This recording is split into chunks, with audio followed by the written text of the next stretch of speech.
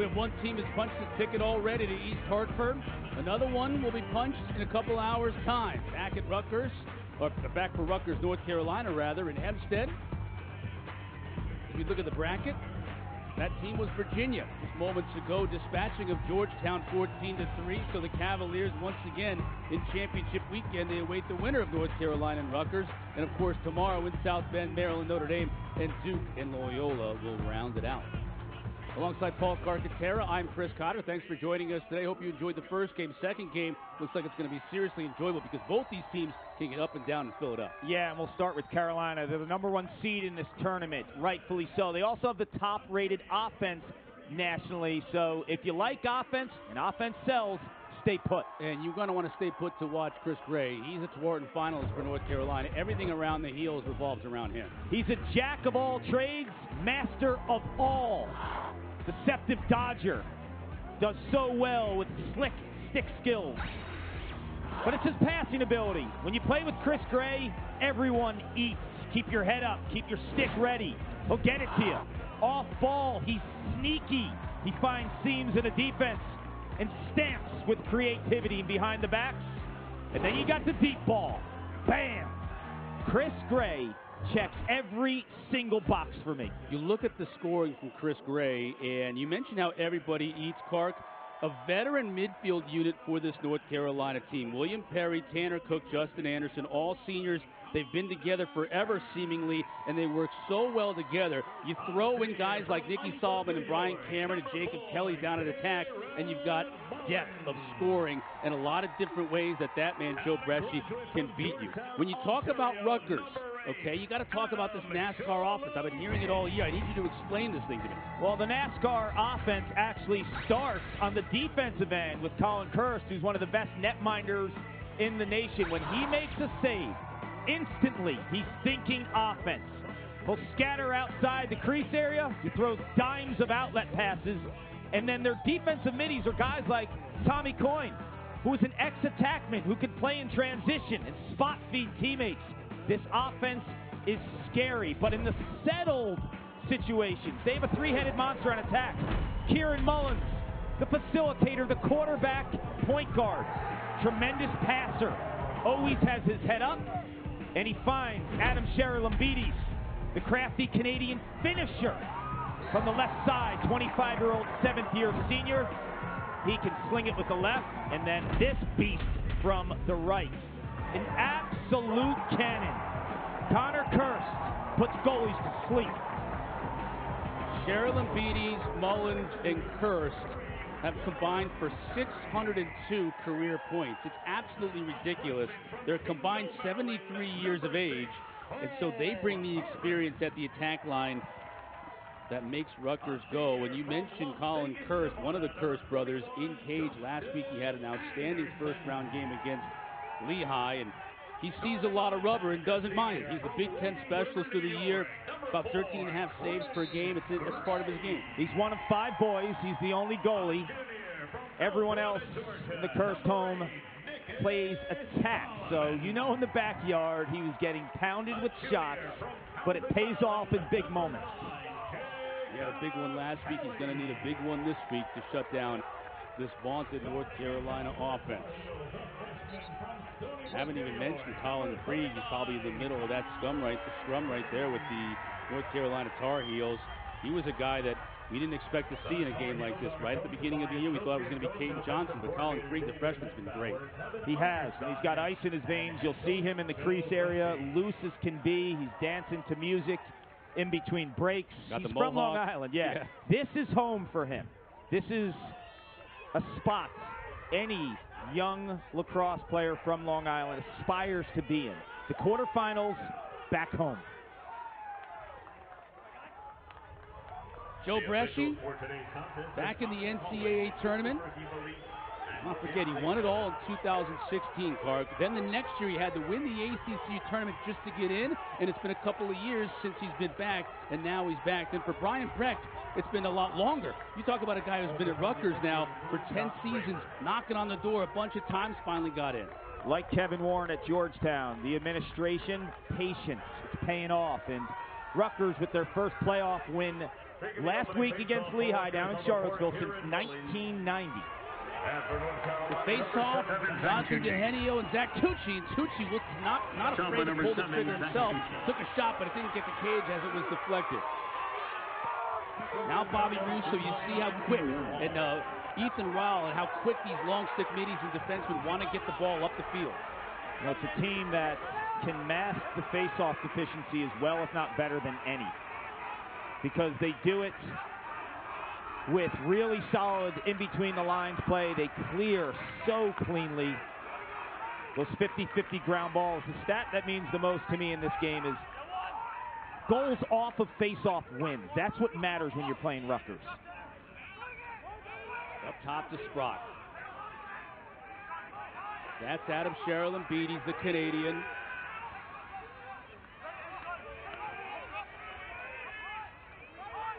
Here's Kirst big physical presence. Shoots just wide. Yeah, and they like him. He's an attack, and they like him up top because at Villanova, where he played and graduated from, the fifth-year senior, played midfield, so he's really comfortable in that kind of offensive set.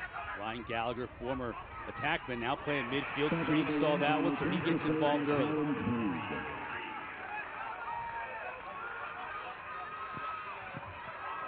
Twenty-four, Will Bowen. Just saw his future team about a half hour ago. He's going to transfer to Georgetown as a graduate transfer after this season, but he hopes to lead North Carolina to a national championship before he leaves.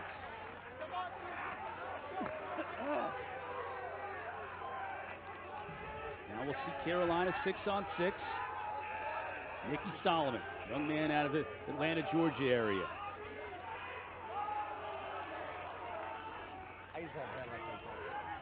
This, this midfield unit rather has been together for so long and played so many games together. Perry, Cook, Anderson. Here's Perry. Here's Chris Gray. Now behind. Look at the speed.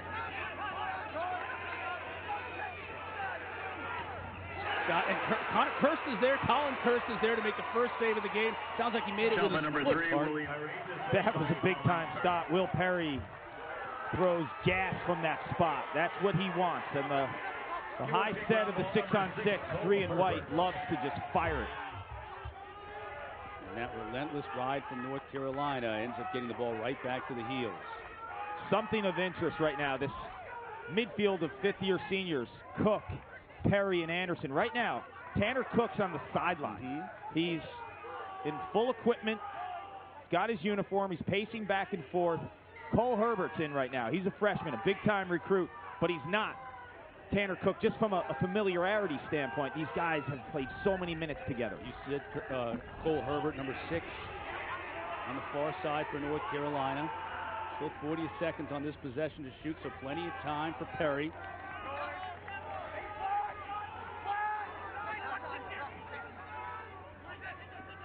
Perry thought about firing with his right. Now brings it back.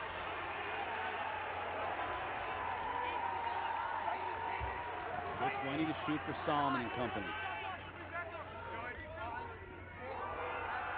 On Kamish, the short stick defensive midfielder. Get a little bit of a step. And a save again by Kirst. Shot by number three, William Perry. The save by Colin Kirst.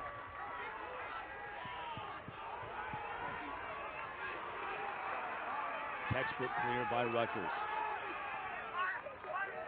And D-middie Kamish, will he stay on the field? No, he comes off. So keep an eye on that throughout the game, whether Rutgers keeps their defensive midfielders on on the offensive end to try and trap North Carolina offensive players on that end of the field. Scott. Sherrill Beatty's quickly to Kirst. Rutgers moving it quickly.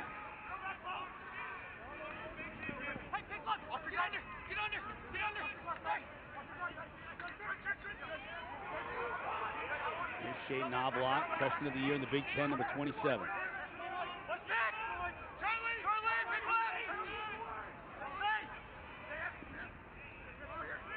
Sanguinetti trying to work his way to the goal. Can't get there. Still 20 seconds to shoot for Rutgers. Mullins. Slide comes, now backs away. Far side of Sherrill Beatty. He's had a hard time gathering it. Back to his left, he scores! Wow. Wow.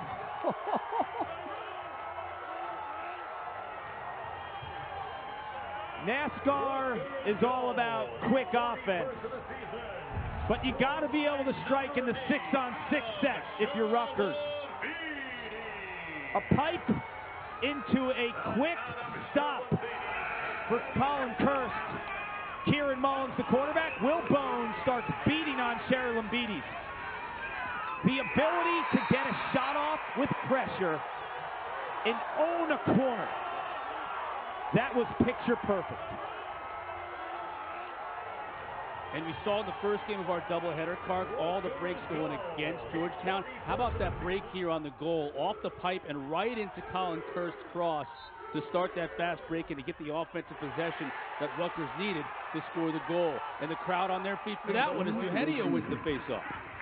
Crowd's going nuts, but it's also like the bloodline of your team is Adam Charalambides, right? He's a seventh year senior, been through three major knee surgeries, the COVID year. He's seen it all. I mean, he came in as a freshman with guys like Jules Heningburg, who's been a pro for three years, right? Like he's waited so long. This program has waited so long for this moment.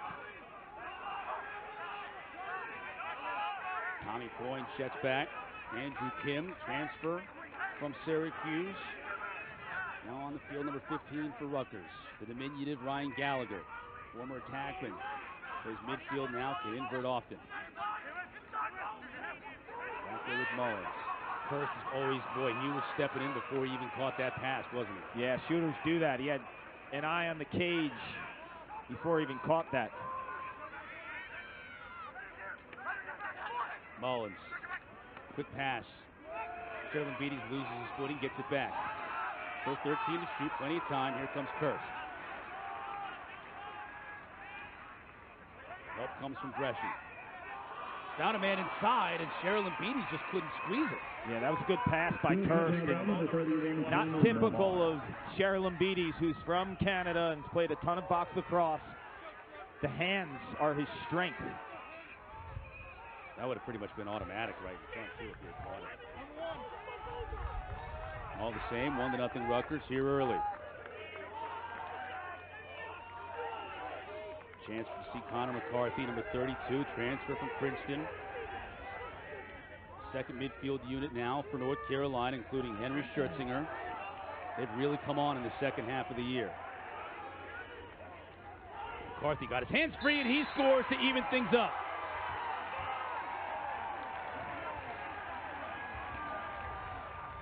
A high bouncer with velocity. When you shoot like the low bouncers against Colin Kirst, he gobbles it up. It's too easy. But when you use the turf and it's coming off quick, no goalie's making that stop. Initial instincts of a goalie is to drop low on the low shot, and the high bouncer counters any type of strength Kirst can have low. Coach Brecht talking to his team over there on the sideline.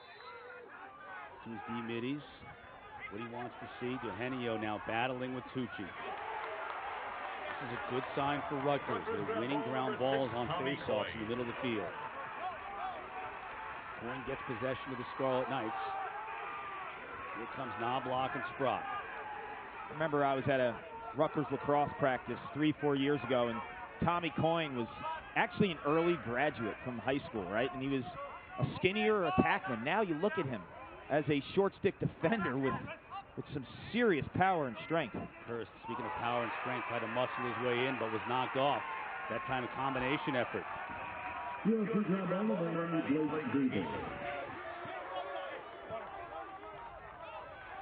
That's three turnovers for Rutgers. Carolina looking to make them pay. McCarthy scored on the last offensive trip for North Carolina.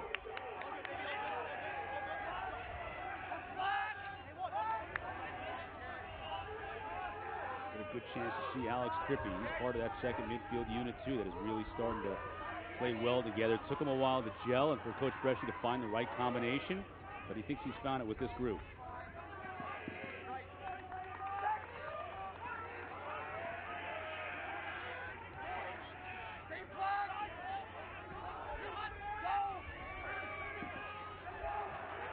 McCarthy. Gonna back his way in. Can't get it going. Nice job by Zach Francowiak on the defensive end of the 26. Schertzinger now. Goal line extended. That's a heck of a move. And he just couldn't put it past. Shot by number two, Hen- Colin Henry Kurtz. Schertzinger. Yeah, Schertzinger with a beautiful, aggressive plant foot type move. But he came out of that with his left hand. If he switched it quickly to the right, changes his angle. Here's Gray. Now he's got a mismatch here on Kamish. Can he make him pay? The slide comes with Garrett Bullock.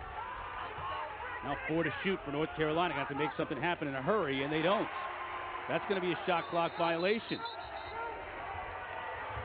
And now Rutgers will look to move quickly. As they are apt to do to Kirst. This Kirst Bowen matchup. I mean, that is a tremendous amount of beef. Right. We're going some collisions this afternoon in the heat here in Hempstead. Temperatures expected to touch 90 degrees this afternoon. We do have a little bit of a breeze, so that's some help to the fans, but the fans are just excited that are here in attendance to see some lacrosse.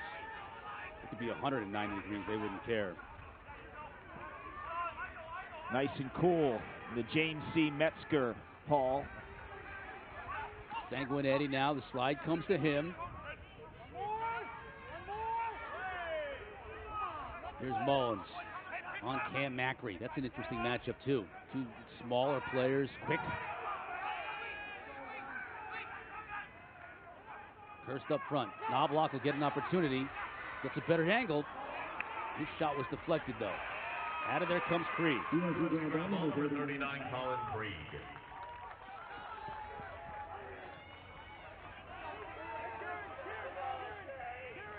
Will Bowen with the clear.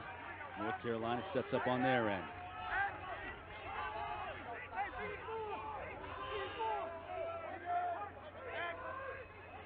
One to one game here. We've had end to end action, though, in the first 10 minutes of this quarterfinal number two.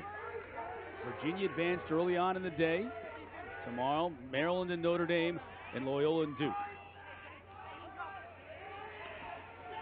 Anderson opted not to take the shot. Now a tough angle. That was Kelly on the far side.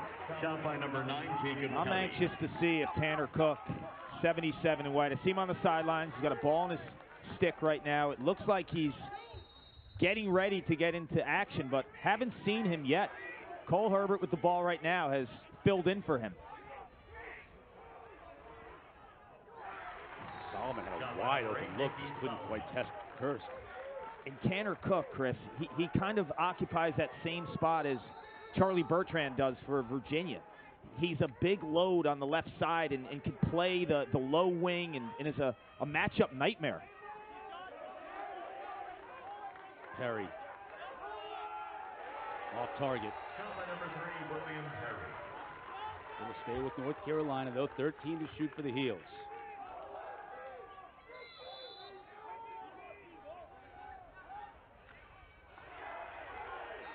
Shot by number Kelly got a decent look. Now with just eight to shoot. There's Tanner Cook, number 77. Late in the season, he battled some injuries. But the expectation was to see 77 on the field today. Right. Perry trying to make something happen with the shot clock winding down. Another shot clock violation, and look at the Rutgers bench.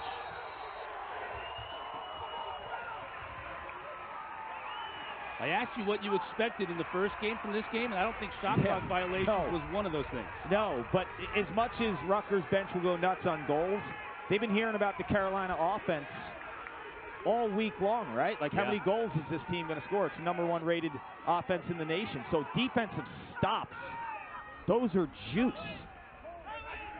Only North Carolina's 19th shot clock violation this season, and they've had two in this game.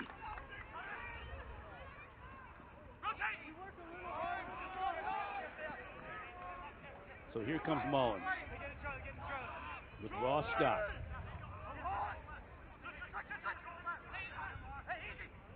Scott, Reed just got a piece of that one, just enough.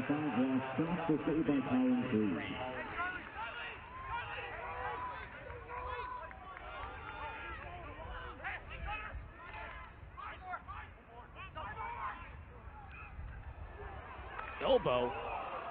Wow, that was a shoulder that Sprock put into the defender there to give himself just a little bit of room.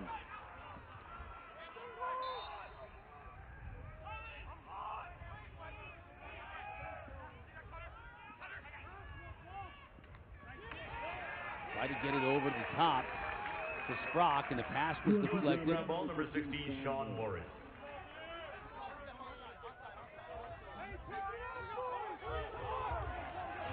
Four turnovers now for Rutgers.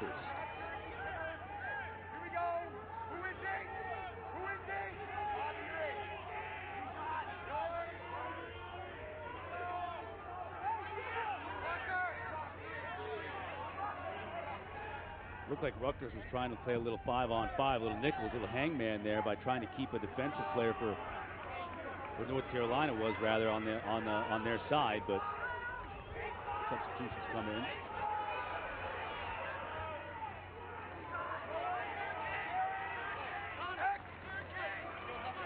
Chris Gray.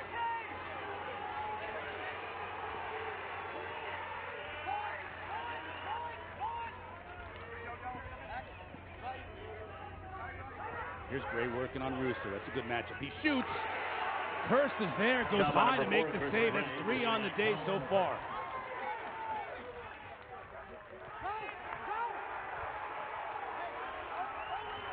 But now his brother puts it in play for the Scarlet Knights.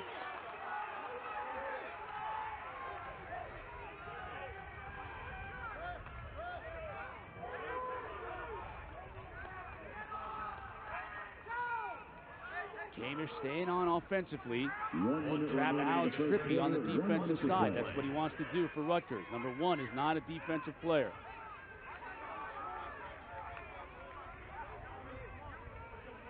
Knobloch working on Bresci. Slide comes to him. Behind the cage to Mullins. Kamish. He got his hands free. Slide has to come to him, but he gets back to his left, and Krieg is there to make the stop. Count number 44, Brennan Kamish. The save by Colin Colin Krieg. Krieg. Trippy's been on the field a long time. He's going to take a breather quickly. Carolina opts not to attack quickly. They'll slow things down with Anderson. They look to attack Ethan Raw. Spins, but had nowhere to go. Still, though, Kelly is there to pick up the loose ball.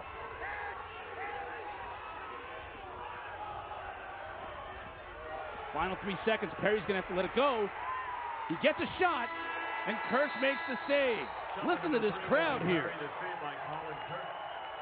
Rutgers Nation, the Jersey boys and girls on their feet.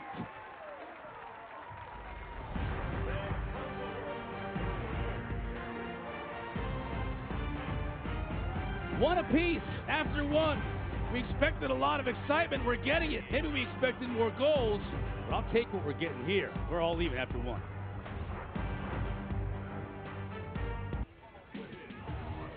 Last week, Rutgers defeated Lehigh 12 to 5, and they dominated that game. And a big part of that was goalie Colin Kirst. Yeah, it was the Kirst show. He was playing against his younger brother, attackman from Lehigh, Cole Kirst. But him and his older brother, Connor, they had the answer. Last week for Carolina, it was the Chris Gray show. Broke the single season record for points in a season at North Carolina. Etched his name with some of the great ones. And Michelle Kirst was on hand down in Charlottesville for a special moment. Three boys playing in the same game. It was an amazing moment for a woman of such great strength. Lost her husband, Kyle, who played goalie for Rutgers in 1990. The last time they were in the playoffs, too, for a win. Yeah, the last time they won a game back in uh, 1990, and they won last week. And Zach they're Franconia. off to a good start here today against the number one overall seed, North Carolina. Colin Kirst with four saves in that first quarter.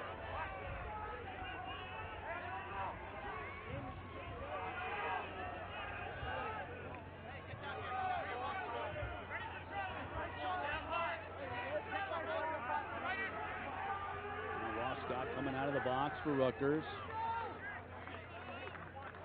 Will Bowen on him. Now Bowen will make a switch. Puts it right up top. Here's Gallagher charging towards the goal. Hurst Little head of steam here. Gets by Bowen. Slide comes. Brought quickly over to Ross Scott. Inside. And Creed was there. Foul by number More like- 34, Ryan like Gallagher. Creed's body just getting in the way. That big body. That was a great opportunity for Rutgers inside. Gallagher with the ball right now, and Scott five in red. Nice change of pace. Both former attackmen in high school. They feel really comfortable behind the net. Speaking of which, here's Charalambides now. He'll come up one on one. Tries to get to his hand.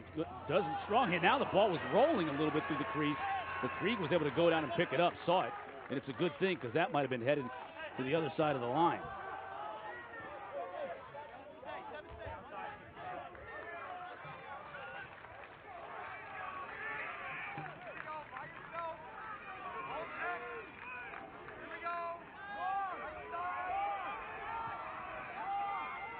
Rutgers and their defense have answered the bell in the first quarter, defending Chris Gray, Tewaaraton finalist. And when you defend Chris Gray, you got to start defending him off the ball because he's so slippery and slick away from the ball. McCarthy, though, off the pipe. He was looking for number two on the day. Schertzinger tried to keep it on that side of the field. Didn't necessarily have to do that, though, with the pipe. Could have gotten possession on the defensive side and still kept it. It's a good effort, though. Yeah, and kind of like trained behavior, right? Yeah. It's always an over and back unless it hits the pipe there. Now Schertzinger gets a little bit of space. Great. Falling down. Stop was made by Kirst. You see when he comes out of that dodge, he has all those different release points. There he was low to low. I've seen him with so many different types of shots. And Lance Tillman gets involved. So McCarthy and Tillman are your two goal scorers for North Carolina. I love the upside of Tillman. Denver, Colorado native. Saw his parents at the hotel this morning. He told me he picked up his first lacrosse stick as a four-year-old, and he's never let it down. What a move. Known for his quickness, his first step, and ability to hit pay dirt. Played at Valor Christian in Colorado, one of the top programs out there.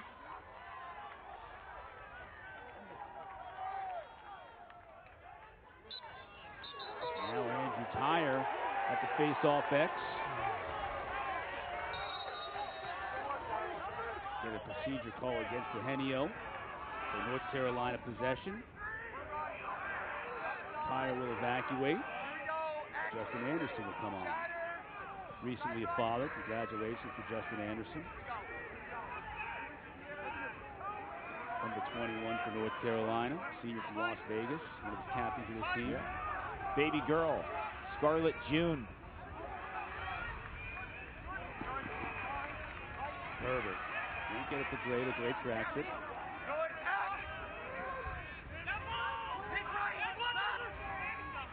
Now comes off the pick. He's open. Wow. That's dangerous. Clean up the pick game, right? You're going to switch or you're going to stay with it, right? If, and if you get caught in the middle, you're done. That's a wipe the sweat off your brow moment if you're Coach Brecht.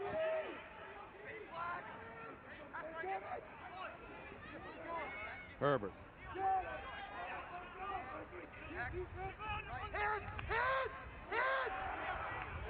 Goes again.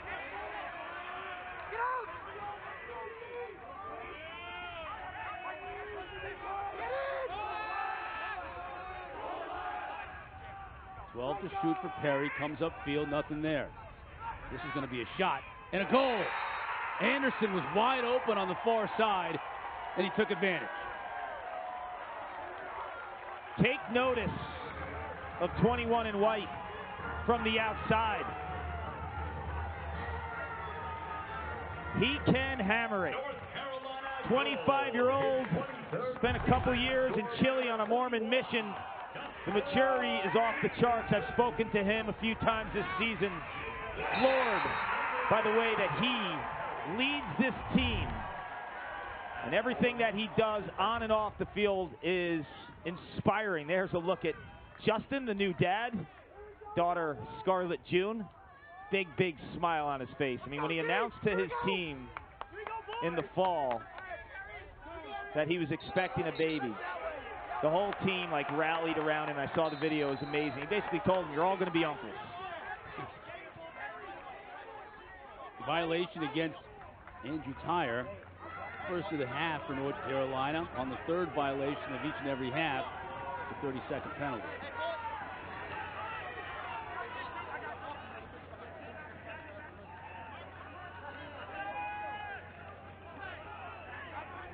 Sanguinetti for Rutgers, going up against the Shorty Breschi.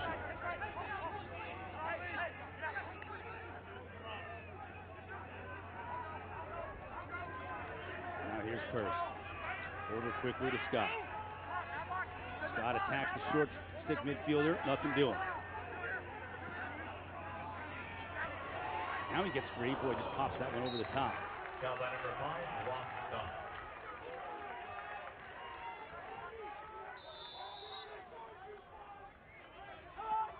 30 seconds for Rutgers to shoot. Charalambides. That's patented. Didn't get enough on it though, as it was deflected.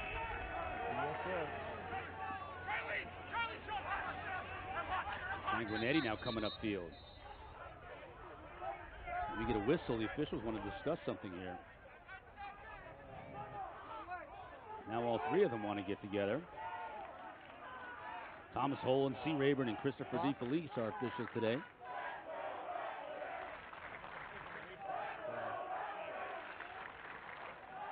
Let's see if we can get an explanation.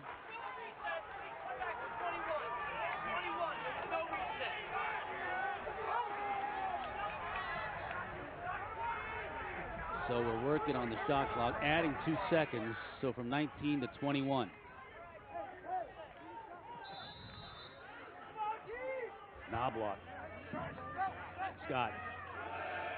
Charalambides. That hit somebody before. Foul by number eight, Astral Beatties. Great ground ball. Look at Bowen. UNC ground ball number That's three block shots by Carolina on Charalambides alone. Charalambides is like, I know it's hockey season, it's the playoffs and everything, but this is why I got away from hockey in Canada. You know, it's an interesting development with Tanner Cook being injured the last few weeks, lower body injury, didn't play against Duke and the final regular season game of the year, and then last week against Monmouth getting some rest. They didn't want to disrupt the second midfield, so they put Herbert at the first midfield and, and, and give some some continuity in terms of uh, of this second midfield to keep those big guns like Scherzinger and and Trippy who play together and McCarthy, right? Like Herbert was like that fourth guy in the rotation. He's on the first midfield now. Here comes Knobloch. He'll shoot. Reed goes down and steals it. Now will North Carolina go quickly the other way. Scherzinger, who missed a great opportunity on the other end, brings it back in the North Carolina offensive territory.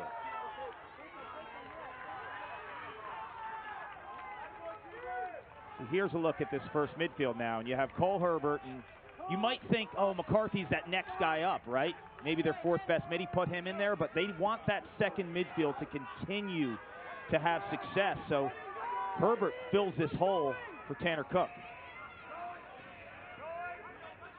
Here's Anderson. Scored moments ago, now behind the Gray.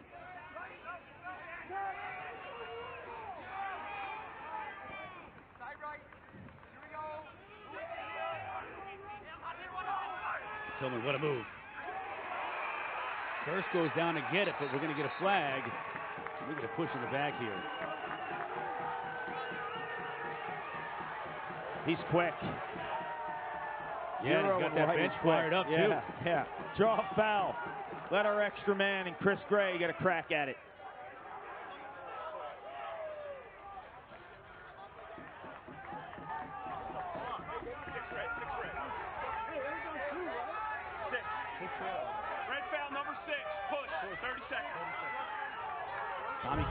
Coyne guilty of the infraction, so it'll be a 30-second man-up opportunity for North Carolina. Tommy Coyne, 30 Just the timing of that's bad, right?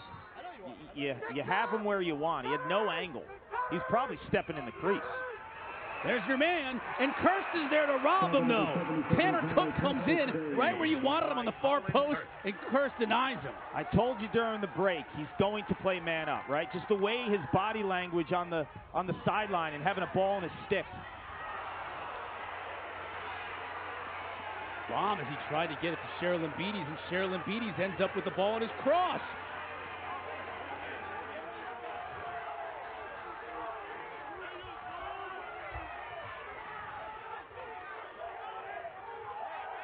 So it's three to one here, Carc. We're about midway through the second quarter. This is about as much action as you're going to see in a four-goal game midway through the second quarter, maybe Yeah. ever. Well, you have the goalies, right? Colin Kirst is as good as any goalie out there. He can be the counter to this frightening Carolina offense. Now Cheryl Beatties.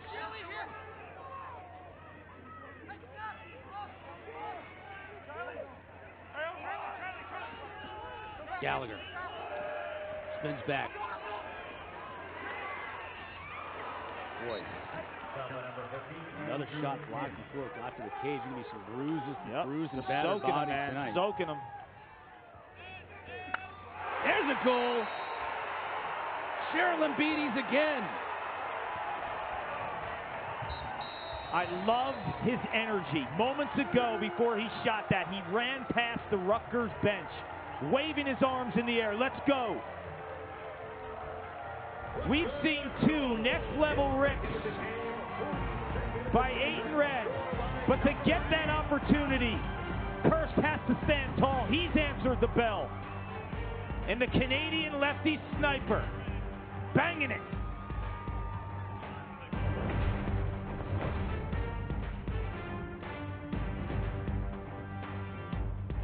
Quarterfinal game, Chris Cotter, Paul Carcaterra. Colin Kirst was great last week. He's been great so far today. You can't rattle him, right? He's just so smooth. Cold as ice.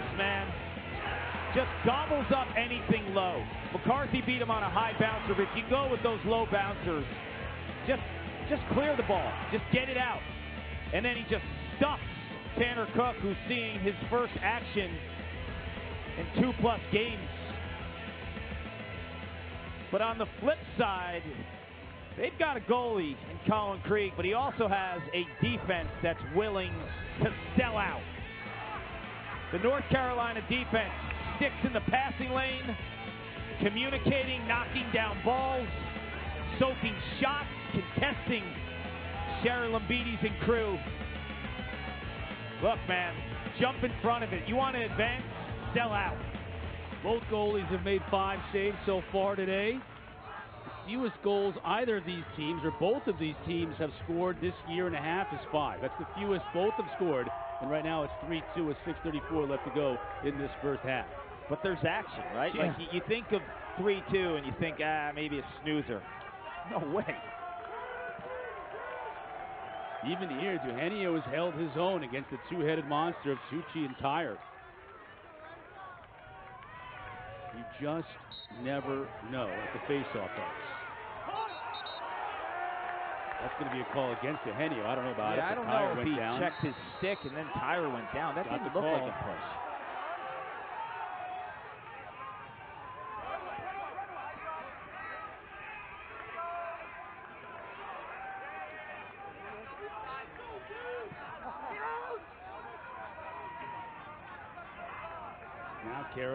Six on six.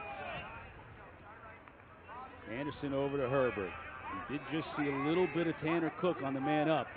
But for the most part, all day today, six on six, it's been Cole Herbert, the freshman. Now he'll shoot. There's the low, right? Yeah. Low does not work. Six saves for Kirst. Will Rutgers look to attack quickly? Why not with Cheryl Beatties?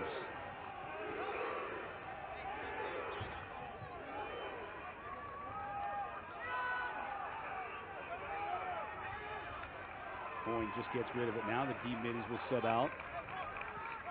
Gallagher and Scott will come in. These guys look like carbon copies of each other, right? Five in red, 34 in red. Smaller, quicker. Right.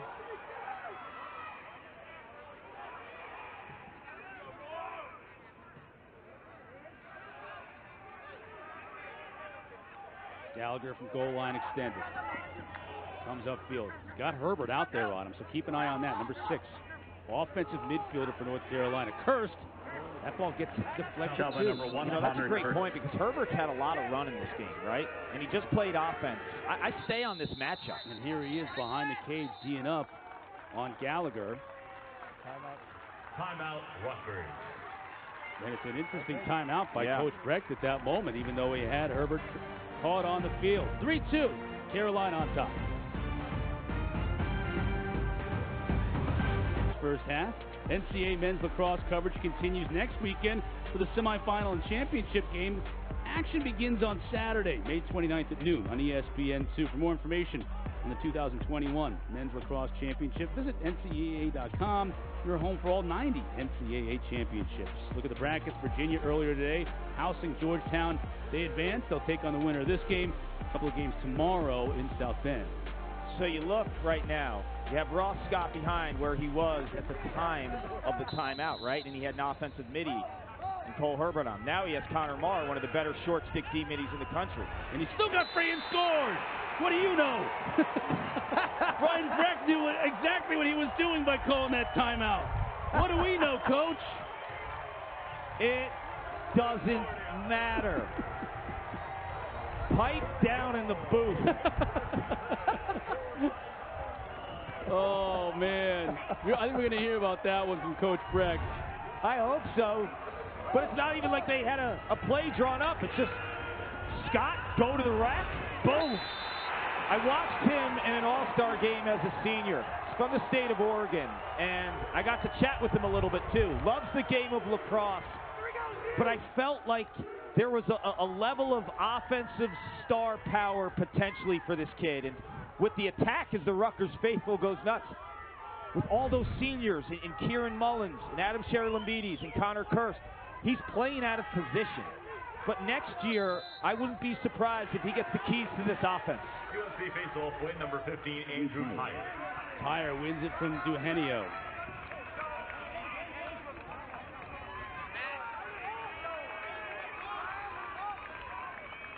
Now Alex Breschi will await on Connor McCarthy.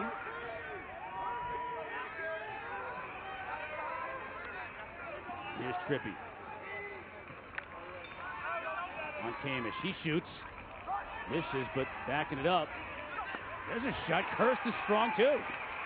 Second number 19, Brian Cameron. Cameron couldn't beat him. Now a big battle for the ground ball behind the cage. They'll stay with North Carolina. Cameron wants to move quickly. Who can win their matchup? That's why I like when Zero's on the field, Lance Tillman. You know he could win his matchup. He's quick enough, right? So Tanner Cook is, is not playing regular settled offense. Do we see more of a dose of Justin Anderson going to the rack or Schertzinger who has the ball now? Chris Gray is one of those superstars that off of ball movement is most effective dodging. Trippy got his hands free. Couldn't get enough on that shot though. As Kirst is there once again, going down low for it. We talk so much about the low shots and how he just gobbles them up. Low shots won't work against a goalie like Colin Kirst unless you're moving the ball really quickly. You could get him off the pipes or you could get him off of his central location in the cage. You got to get him moving. If you're not going to get him moving, those bouncers, I mean, he, it's, it's too easy for him. He's made nine saves here in the first half. Back to Ross Scott. And Sprock coming in out of the box.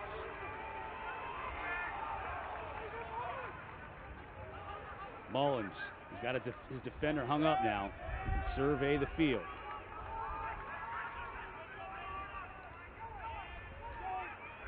Top to Sprock. He'll look to dodge. Quickly to Scott. Ball's loose in front of the crease.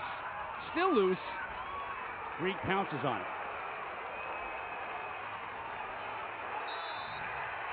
Turnover though gets it right back tough to Rutgers. turnover. Alexander couldn't handle it. 23 and white. So an extended possession here for Rutgers offensively.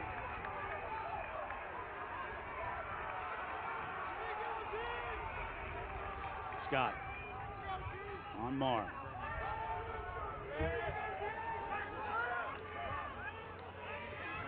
Charalambides now from X. His defenders hung up.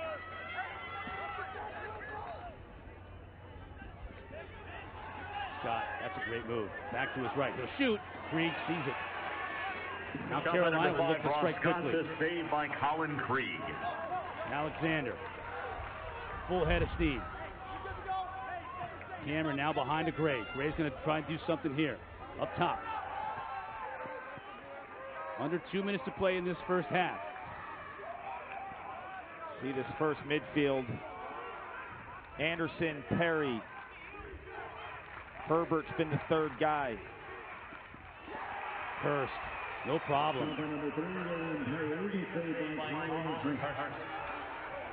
And a nice job by his brother tracking that down. Here comes Necessible. He shoot. He doesn't, but the ball's loose. Number get a whistle in the crease. Colin He's going to go back to Carolina. End-to-end action here.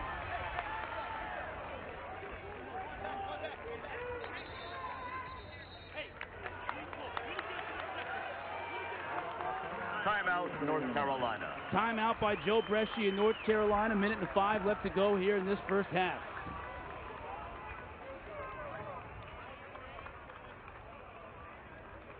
You look at the saves from Colin Kirst already, 10 in this first half. I mean, Krieg has eight, but Kirst has been remarkable. Outside of just his play for Rutgers, it's the story of Colin Kirst.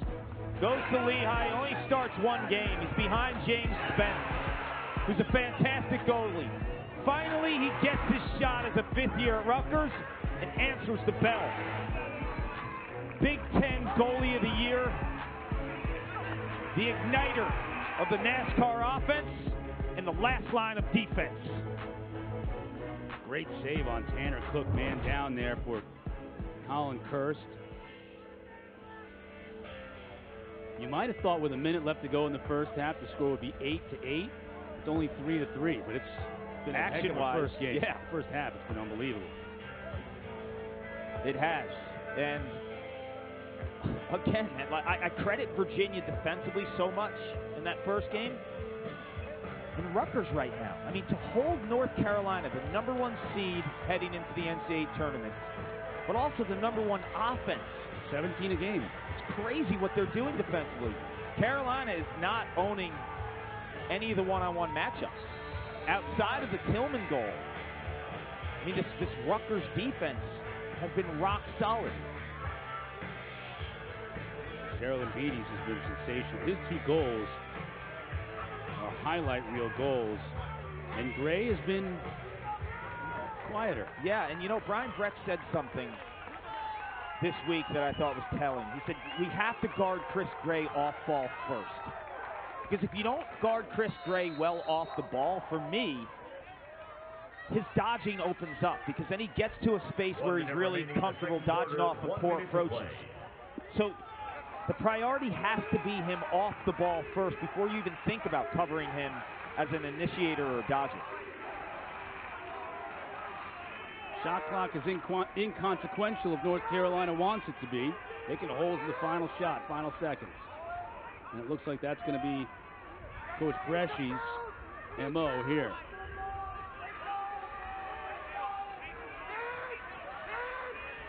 When do you go here, Carc, though? You got to go with about at least 20, right? Just in case Yeah. you get a second opportunity. I, I like I like between 15 and 20 always. Get that second look if you have the They backup. might not even get one opportunity. Nope. They won't. Great play by Kamish to force the turnover. Now what can Rutgers do quickly?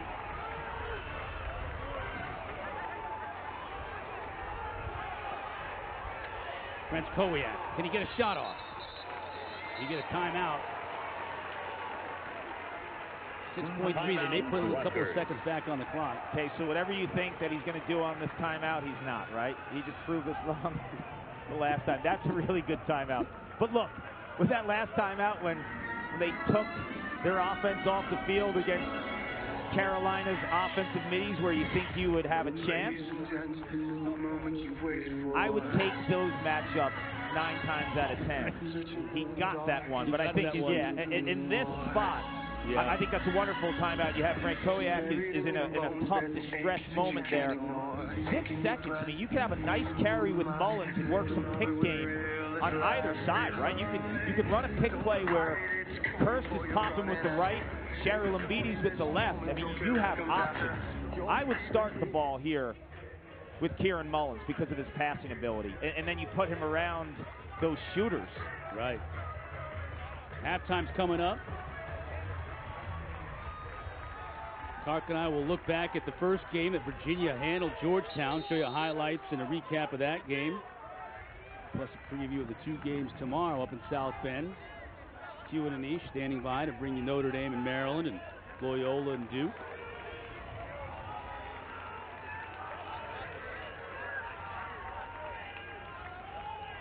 Okay, so you have Scott with the ball, five in red. As I mentioned earlier, he's going to be a quarterback for this team, and he's got a shorty on him too. So I, I like this play as well. Now we get whistles and more whistles. This is The the counter game, by right? Yes, the counter. Little chess match. So what will you expect? Probably a poll on Scott this time, right? You got four polls. You know he's the type of player that can get separation. All right, our Stack Sports lineup continues today and tomorrow. NBA playoffs underway on ESPN this afternoon. Then game one between the Celtics and Nets will be on ABC at 8 o'clock Eastern. Also at 8 o'clock on ESPN, junior welterweight unification bout between Jose Ramirez and Josh Taylor. Then tomorrow morning on E ESPN2, the Monaco Grand Prix jump starts today in the final round of the PGA Championship on ESPN at 10 a.m. Eastern. So a full weekend of sports.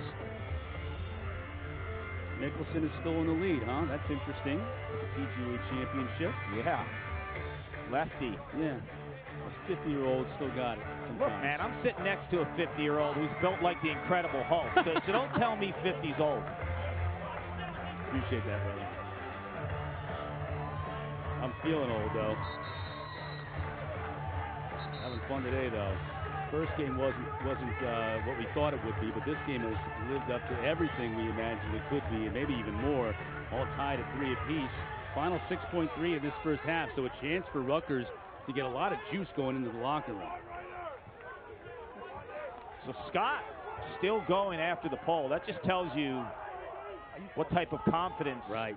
Brian Brecht has in this kid. Has Matt Wright on him.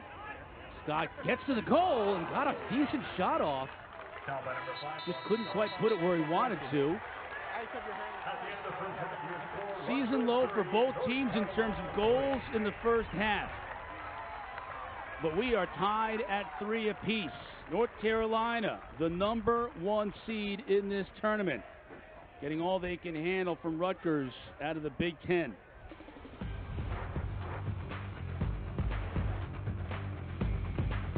Adam Charalambides with a couple of spectacular goals. Colin Kirst, sharp in net.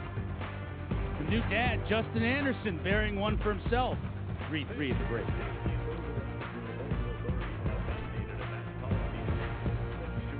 Weekend coming up in about an hour's time. Earlier today, the first team did just so. Virginia and Georgetown. We thought we would see a good one here. We we really saw Virginia team that dominated from the start. From a physicality perspective, right out of the gate, they made their presence felt. James Riley went down. It was a huge blow at the faceoff dot for Georgetown. But make no mistake about it, Dox Aitken, Jared Conners, Petey LaSalle in the middle of the field. Those were the guys that gave this offense multiple opportunities, and when they settled, no one was better on the field than Connor Shellenberger. Six goals and one assist. He was unguardable.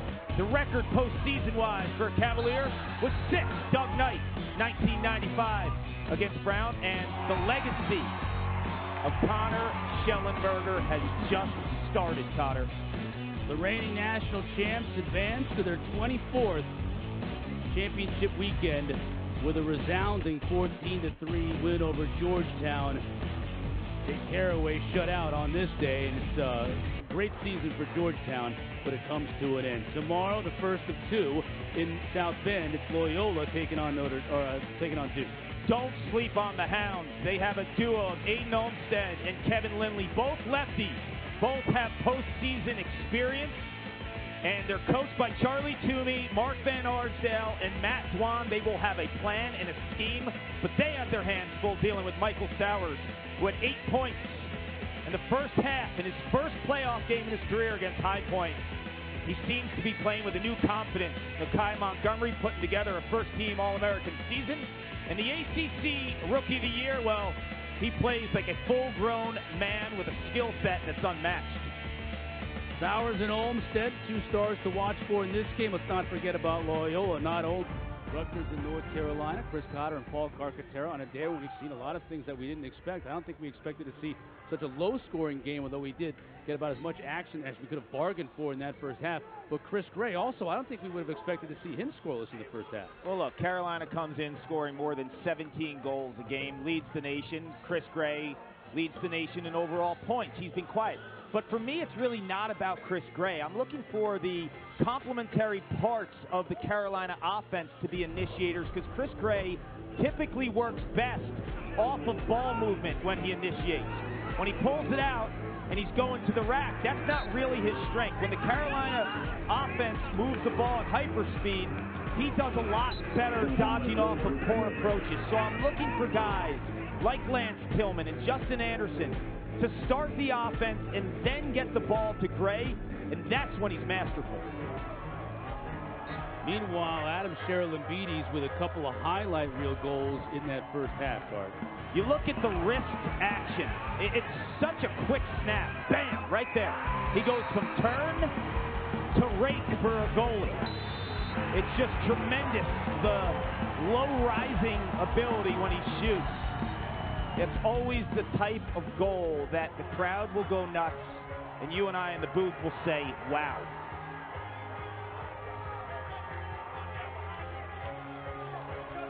Charalambides has been a huge part of this Rutgers offense today. Good crowd. That's Shuart Stadium here in Hempstead.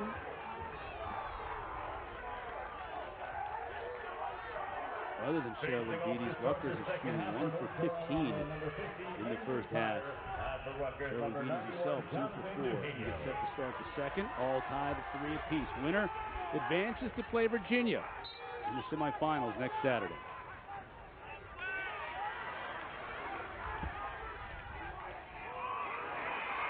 Henio uh, wins the battle for the ground ball. How about that, huh? Yeah.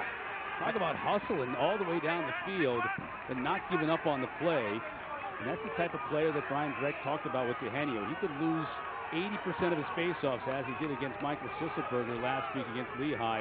But when, when you need a play, he made two huge plays in the second half. Like Petey LaSalle from Virginia, he's a midfielder, right? He faces off, but he's comfortable playing offense. He's comfortable playing defense and, and making those in between the restrained box plays. Scott. Double team comes on him. Mullins spins. Now back to Scott. Shot and a goal. Rutgers takes the lead. I'm telling you, Ross Scott is onto something. Five in red, playing with his head up off of a quick pass from Kieran Mullins. So you have the two guys who see the field from behind the cage better than anyone on this Rutgers offense. They are initiating the play. Starts with Mullins at X. Comes off that pick, Scott, heads up, and then David Sprott, Dallas, Texas. Set your feet, plant, and rip. Rutgers' first lead since it was one to nothing in this game.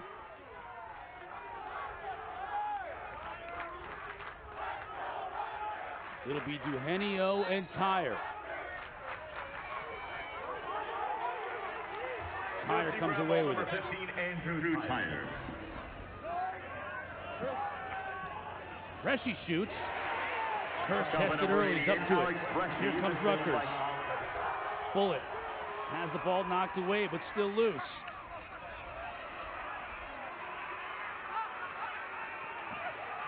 Kirst wins the battle for the loose ball.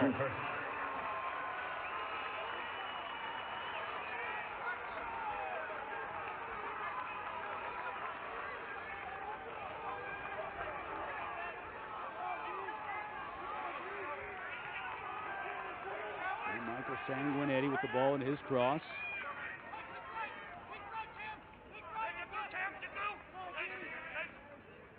Seeing Scott is back on the field again as a midfielder.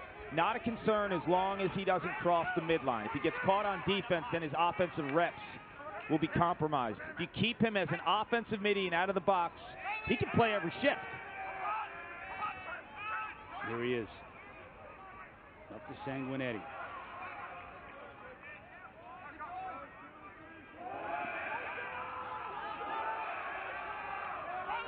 Twelve to shoot for Rutgers.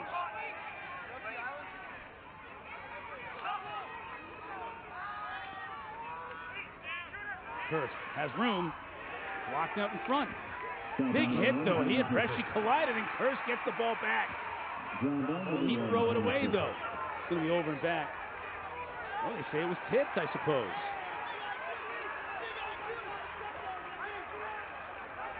Seeing Kirst now from that lefty wing shooting righty, trying to go low both. I, I've seen him shoot the ball high to high, upper 90s type gas. If I'm Kirst coming off of, of the inside and popping outside, let it fly high. Knobloch gets free and scores! The freshman whips this crowd into a frenzy.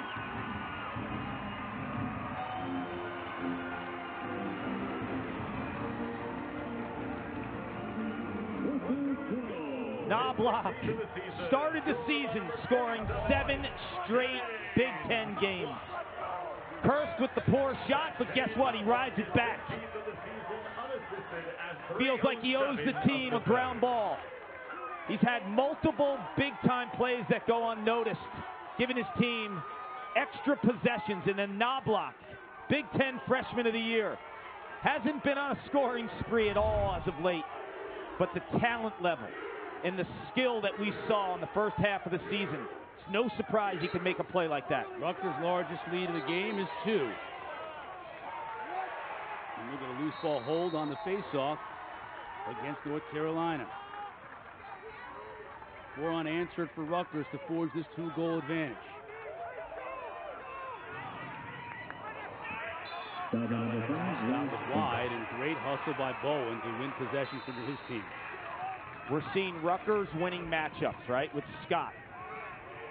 The question is now, as Carolina clears, who's winning the matchup for Carolina? During the regular season, Tanner Cook could do it. There's other guys that could do it. Justin Anderson's done it before. But in this game, we're not seeing Carolina win the one-on-one matchups, and that's going to be the key in the second half. Anderson now delivers a hit himself. What an individual effort, and he scores!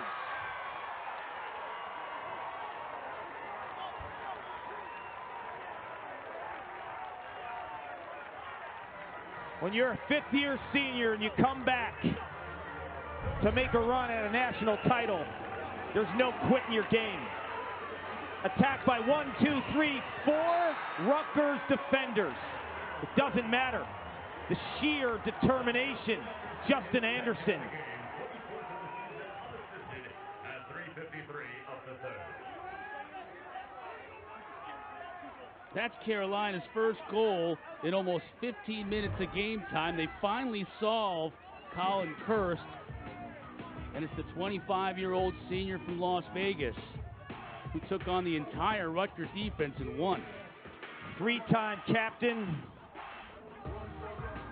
from a non traditional area in Las Vegas, Nevada.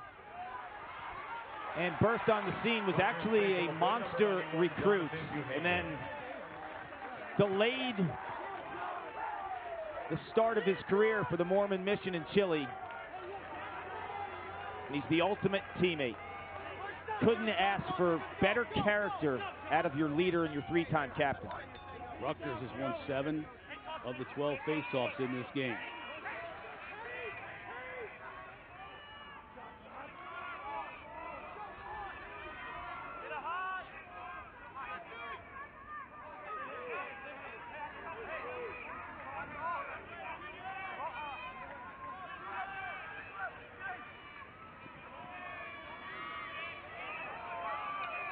Double comes on Gallagher. Gets rid of it though. Tough angle shot for Kieran Mullins. Foul by number Get a 4, flag Kieran down. Look at a cross check here against North Carolina. Cross check. One minute cross check, I think. One minute cross check on number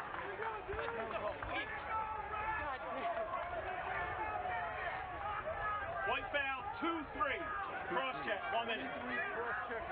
They had Gallagher where they wanted him. But they didn't finish him UNC penalty cleanly. 23, Parker Alexander. 23, Parker minute for cross Alexander gets him up high. Could have been a cross check, could have been a hold. The cross check sends you to the box for a minute. The hold would have been 30 seconds. Rutgers man up this year, very successful. Almost 52%. Good for third best in the country. First, Charalambides. He scores. That's Knobloch.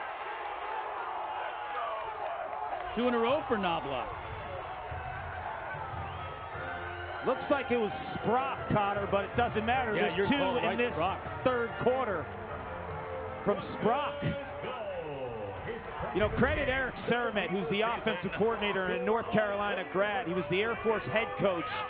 He's masterful in terms of setting the team up to their strengths.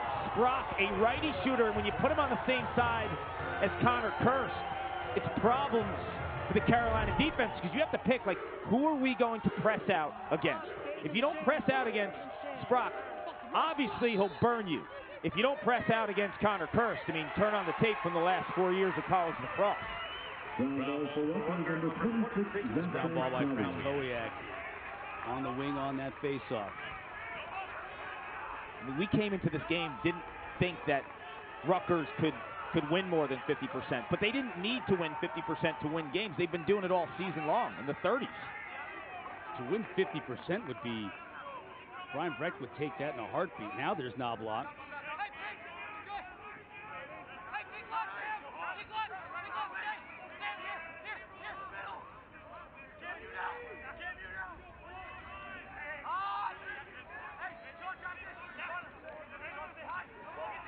Slide comes, but can't dislodge the ball from Knobloch. Here's Sprock up top. He'll shoot again. Foul by player Mixing it up, too. On a lefty goalie, that placement is spot on. It's a, it's a little wide, but that's the direction you want to be at.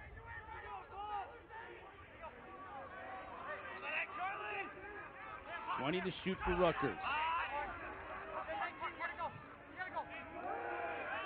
Here comes Scott.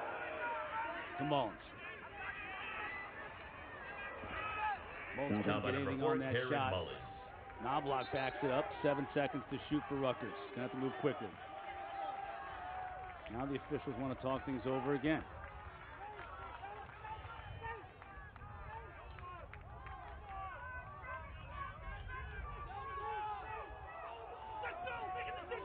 This is like 500 pounds of combined weight right here.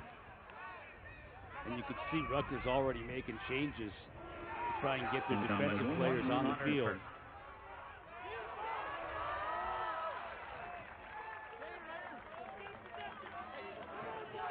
UNC ground ball number 24, Will Bowen.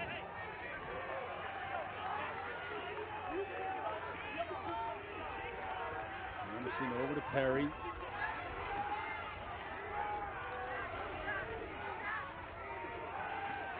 And Herbert running with this first team midfield unit in the absence of Tanner Cook. Here's Herbert. One of the top freshmen in the country, one of the top recruits in the country, I should say. But he loses it. Tracked down by Chris Gray. Chris Gray. Now Anderson. Tough angle. Kelly couldn't find the target. Foul by number You saw Ethan Rawl, 29 in red, chase down Herbert. Ethan Rawl is one of the most underrated long stick midfielders in the country. He does not get the recognition, 29 red, that he deserves.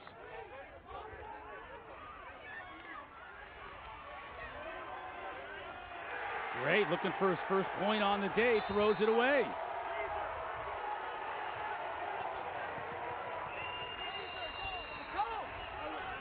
Six turnovers for Carolina on the day. Bobby Russo and company looking to clear it. Here's Kearse. Oh, and they're going to be kicking themselves Yes. there. Kieran Mullins Yes. had a direct line. He was going to meet Colin Krieg at the crease.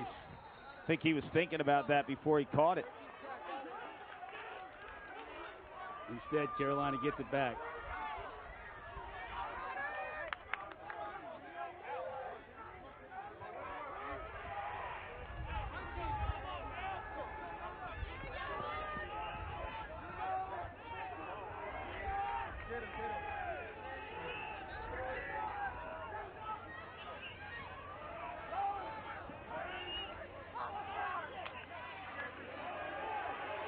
Trippy. Now McCarthy, goal line extended.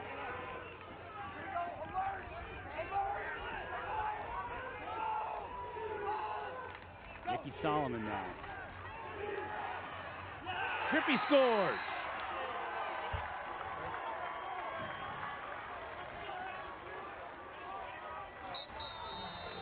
Colin Kirst has been near flawless when Carolina has shot from the outside. They get through the progression of their offense. Interchangeable parts. This time Solomon. Good off ball movement by Trippy. Nothing the righty goalie Kirst can do here. Head up, finds your teammate. Carolina's knocking on the door.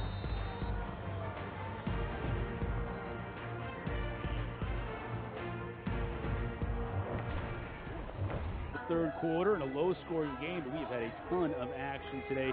Great goaltending, great defensive play. The last couple of games, Rutgers has been so good on the defensive end. That's been a big story for them as to why they're in the position they're in right now, a quarter and a half away from possibly getting the championship weekend. And we've had players from North Carolina like Trippy, Tillman, and McCarthy scoring goals today. Yeah, and to be quite honest with you, like right now the attack is is Kelly, Solomon, and Gray, and I, and I'm good with that. But if Lance Tillman zero in white isn't on the attack line, I, I just feel like his quickness could be an equalizer for his team and his offense moving forward. I would sub him through the box and have him play some midfield because step for step, I'm not sure a Rutgers defender can match his quickness. And he's only really been playing attack. And Cole Herbert, who has crazy upsides running with that first midfield, I, I would throw Lance Tillman in with Justin Anderson and Will Perry. Give it a shot. Right now, Cole Herbert awaiting his opportunity to get on the field.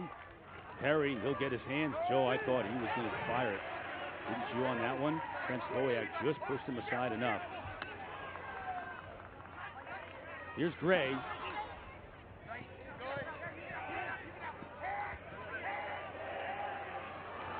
Had to look to Kelly on the far side. He just can't connect. That's one where they typically cash in on, right? A slide when you're not beat, right? When teams slide too quickly to Gray, he finds his teammates within a second. This time it just wasn't on the stick. Carolina just all kinds of trouble for Rutgers now on the ride, and they get possession back. Connor Marr. Gray up top. Look at that feed and a goal. That's a gorgeous feed from Gray to Nicky Solomon.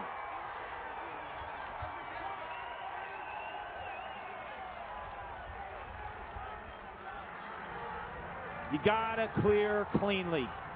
And Kamish has the ball on the defensive side of the field.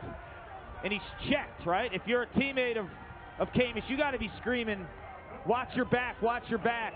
If you're Kamish, you gotta feel that pressure and race towards the offensive end. And if you don't, this is what will happen.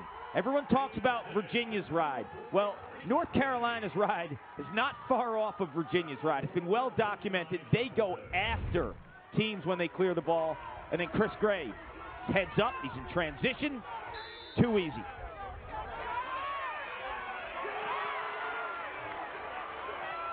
Face off initially won by Carolina, but a big ground ball. Rutgers Going gets it six, for Rutgers. Remember when it was 6-4 and Connor Kirst had that ball coming over the midline, and he passes to Kieran Mullins. It's a drop ball. Could have been 7-4, right? Carolina comes back, all tied up at six. Can Rutgers counterpunch?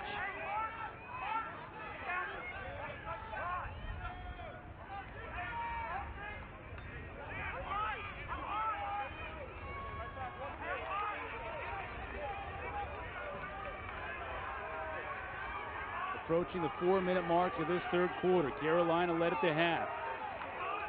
Rutgers has stormed back to retake the lead. At one point, a two-goal lead here in the third. Now we're all even. Brock. Now to Charalambides with a short stick midfielder on him. That's Alexander.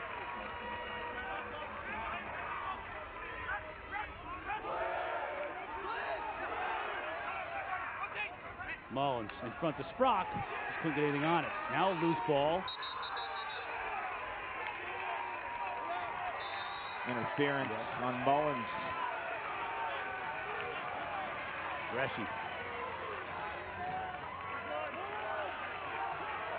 Parker Alexander. Kelly and now Gray behind the cage. Carthew has a goal in this one early on in the first half as does Alex Trippy. Just scored moments ago. Here comes now. Here comes Lance Tillman. So you've got Trippy, Tillman, and McCarthy in this midfield unit.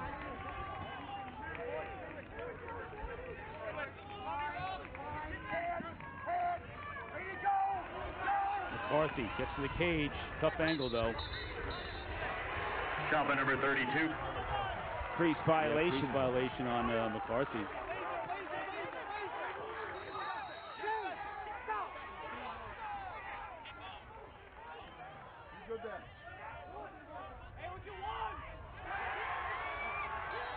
Turnover. We've seen it from North Carolina. Now we see it from Rutgers.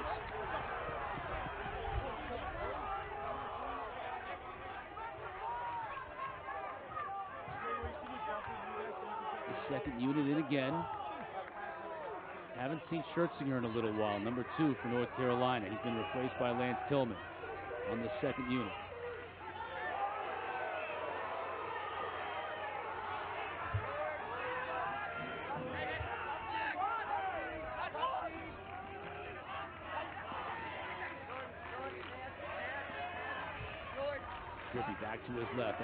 That's hand. Working on Kamish. With plenty of time to shoot, 35 seconds. That's a tough angle shot and a goal by Tillman. What did you say? Zero. That's your guy. Keep him on the field. A lot like Rutgers is using Ross Scott, Carolina can use Lance Tillman. You look at the numbers, they're not eye popping, but when you watch his skill set, he's ready to pop. His teammates know it. Carolina's on a run. Tar Heels finding some inside seams of the Rutgers defense, capitalizing on blown clears for Rutgers.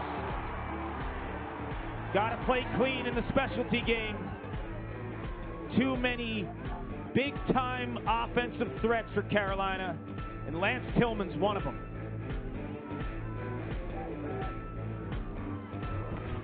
Outside of Justin Anderson's two goals, you know, you've got guys like Tillman with a couple, Trippy, McCarthy with goals in this game. Eugenio wins another faceoff. He's plus 50% in this game. But what's happening when Rutgers doesn't clear the ball well, and we've seen two blown clears result in two goals, the defense has been playing really, really well.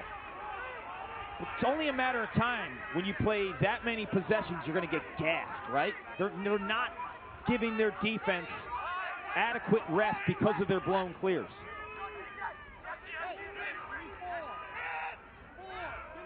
Mullins now has Macri hung up. Had a notion to get Charalambides. Now he does.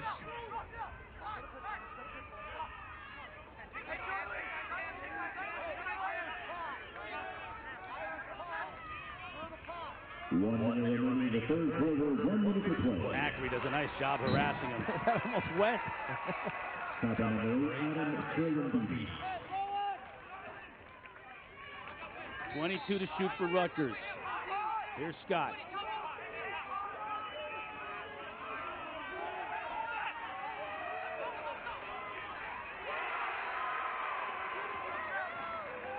Knoblocher chase it down to Kirst. Seven to shoot. Bowen on Kirst.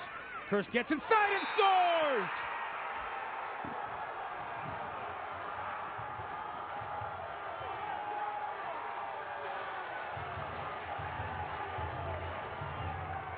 There's mom, Michelle. She's loving it. 6'3", 230. Big time righty. Also a big time competitor. Going through the heart of the Carolina defense with this backhand beauty. This crowd is unbelievable. I think they broke our crowd mic. Michelle loving it. And why not? 7 7 late in the going here in the third quarter.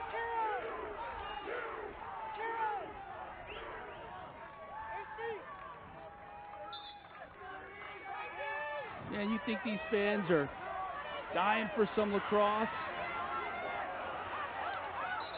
And they are getting a treat this afternoon.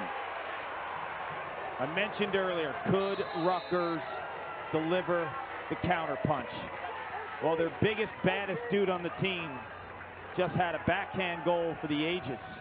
You're seeing so much of those backhands, right? Instead of switching over to your left hand and spending that time, when, when you're practicing these backhands, see it in the men's and the women's game, it's such an added asset to shot-ready play. Try to get it to. Mullins, right at the buzzer. Krieg makes the stop. Take a breath. We've got one more quarter still to go. Carolina, Rutgers. One of them is on their way to East Hartford. Who knows who it'll be? You got to stay tuned to find out. Four. Rutgers, one of the last teams to get into this tournament as an at-large bid out of the Big Ten, showing they belonged last week and proving that they could be a championship weekend caliber team here this week. Yeah, when you combine for 73 years on this earth between their attacks, you're going to get players ready to take over, ready to give you their best shot. Charalambides and Kirst, the most experienced attack in America, has kept Rutgers in this game and providing what would be the biggest moment in modern lacrosse for the team from Piscataway. Until last weekend, they hadn't won an NCAA tournament game since 1990. Tyre wins the draw. Cameron, he'll shoot. Kirst is there to make the save. Number number 19, Brian Cameron. Keeping the momentum with Rutgers. When you watch Kirst, though, there's no cheating in his game, right? He, he doesn't he doesn't flinch. He plays his pipes and his mechanics are so flawless, and then he reacts. There, there's no guessing in his game. His brother Connor picks up the loose ball in the middle of the field. Colin Kirst had 12 saves in this game. Hasn't had to work nearly as hard in that third quarter as he did in the first half. Neither goalie has let up a soft goal. I mean, there, there has not been a goal where you're like, ah, should have had that one. It's been a shooting clinic, the goals that have gone in. It's Brock now.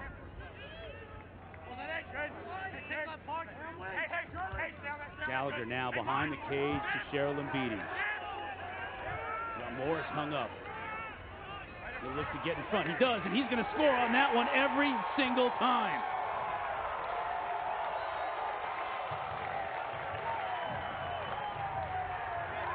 He's loving it, and he's playing to the crowd. They are on their feet. The calmness and the ability to know you have more time. This is a hard trait for an attackman to have, right?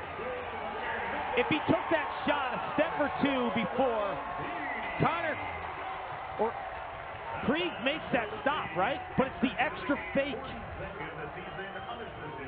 Colin Krieg has no chance once he takes that extra step. The extra step allows him to have a free net because he has him biting on those those prior two steps also came with some stick fakes. Violation against Rutgers, North Carolina ball.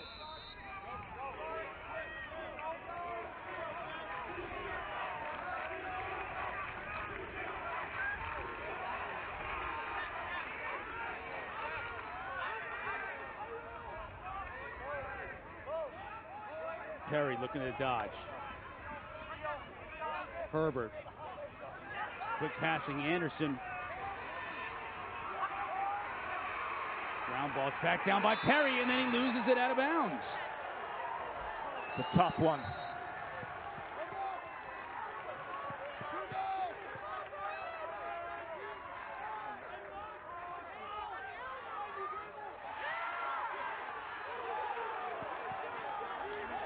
Another turnover in the middle of the field, though. And if we get a flag down, this is going to go against Rutgers. Anderson, he's not going to wait for the call because he's going to put the ball in the back of the net.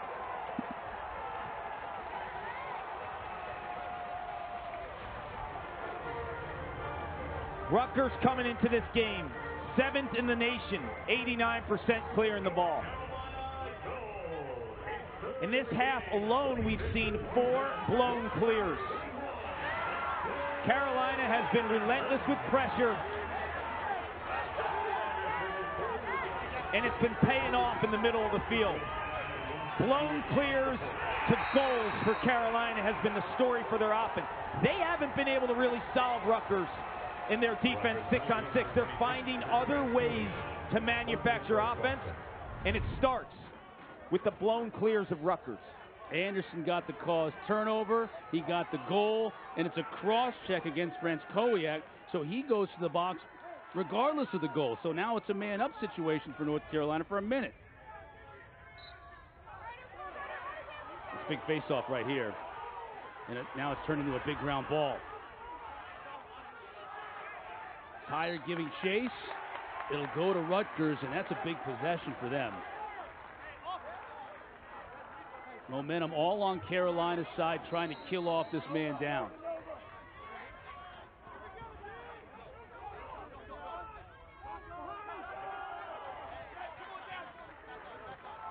I like this midfield to to crush this penalty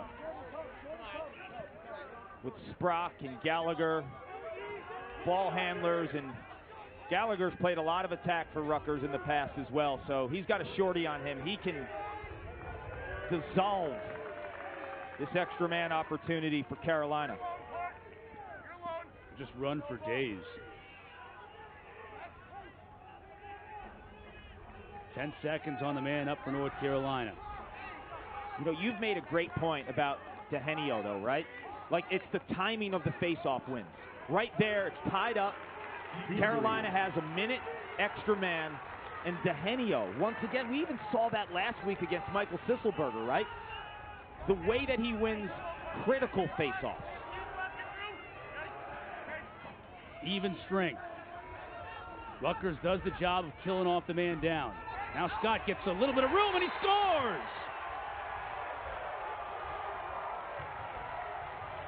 The defense let him be and he made him pay. I didn't think he had the angle. From up in the press box, it does not look like he has the angle. But you're seeing the next Rutgers star emerge before our very eyes. Ross Scott knows that he has to take another step upfield to increase his angle. He does that, and it hits off Colin Krieg's leg, and it goes in. Ross Scott, to me, has been the difference for Rutgers today in terms of initiating offense and taking pressure off the big three at attack. He's been that extra added bonus and that that juice and the one who's igniting the offense. Two goals on the day for Scott, the sophomore from West Linn, Oregon. Push in the back, again, possession to Rutgers off the faceoff. Knobloch. Can he get to the cage? He does. Will we get a push or in the crease? In the crease is the call. It's going to go against Rutgers, North Carolina ball. The timing of that dodge, right? You, you almost felt like Rutgers had to, had to get a possession.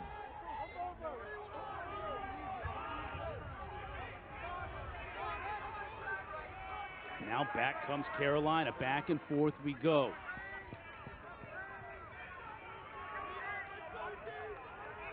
The number of responses in this game, Clark, have been Oh. unreal. Herbert getting a lot more playing time today with the injury to Tanner Cook.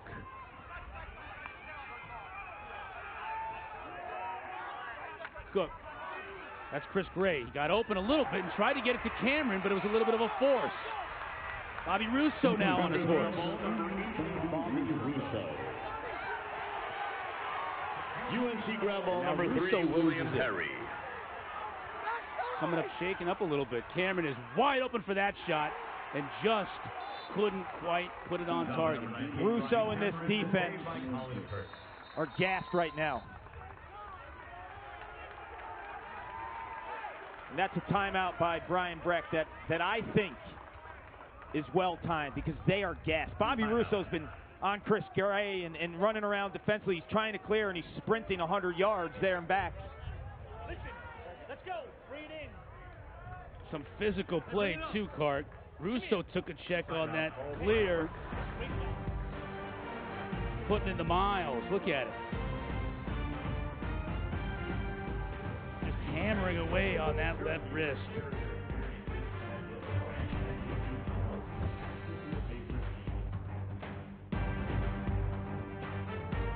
Sarah, 9-8 our score. Rutgers in the lead. We've had five ties, four lead changes in this game.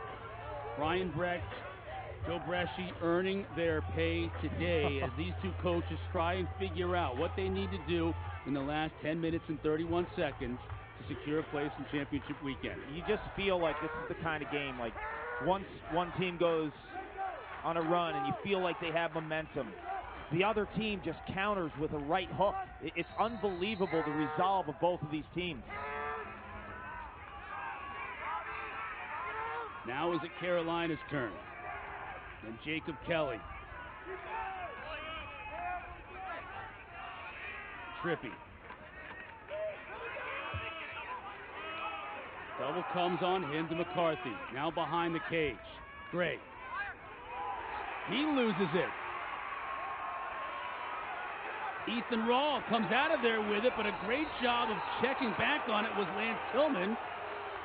And we're going to get a push, though, or a hold, and this one's going to go against North Carolina.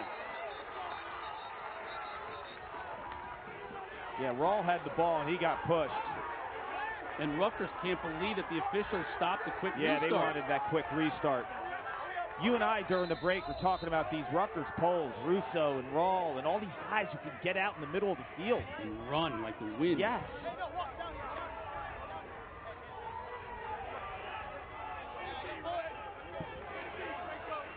Ross Scott, a couple of goals today. He has been the catalyst for this Rutgers offense. And he knows he has a shorty, right? There's No, four long Moore, sticks right. out there. He doesn't care that it's Connor Moore. He has a shorty. He's going.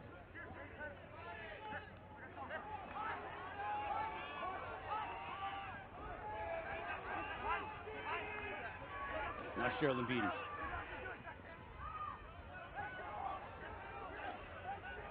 Mullins now up top. Over to Kirst. Try to power his way to the goal. Rutgers bench wanted a call, won't get it. 25 to shoot. Kirst, nice catch on the end line. Kirst working on Alexander. Got his right and scores!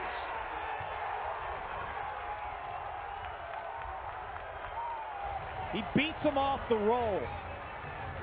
But this one-on-one matchup is won when Alexander decides to one-hand rap check a 230-pounder. And he just swats him right here. Look at the one-handed wrap. You can't do that against Connor Kirst, right? Then he wins the leverage game, and now he's got him. He's got options, right? Brings him up above goal line extended, Rutgers Nation and the Kirst family jumping for joy. Two and one for Kirst, the transfer from Villanova. Transferred in first. And his brother Colin followed suit from Lehigh. We talked about it one night at the dinner table. It was just a thought. The next day it was a reality. day. Drafted by the Whip Snakes. We'll see him in the PLL next year.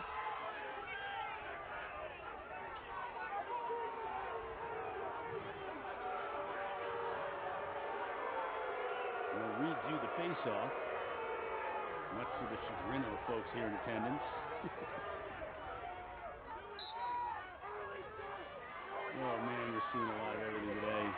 Rutgers wins possession. They've been so good today on the face-off backs, haven't they? They've won 13 of 22.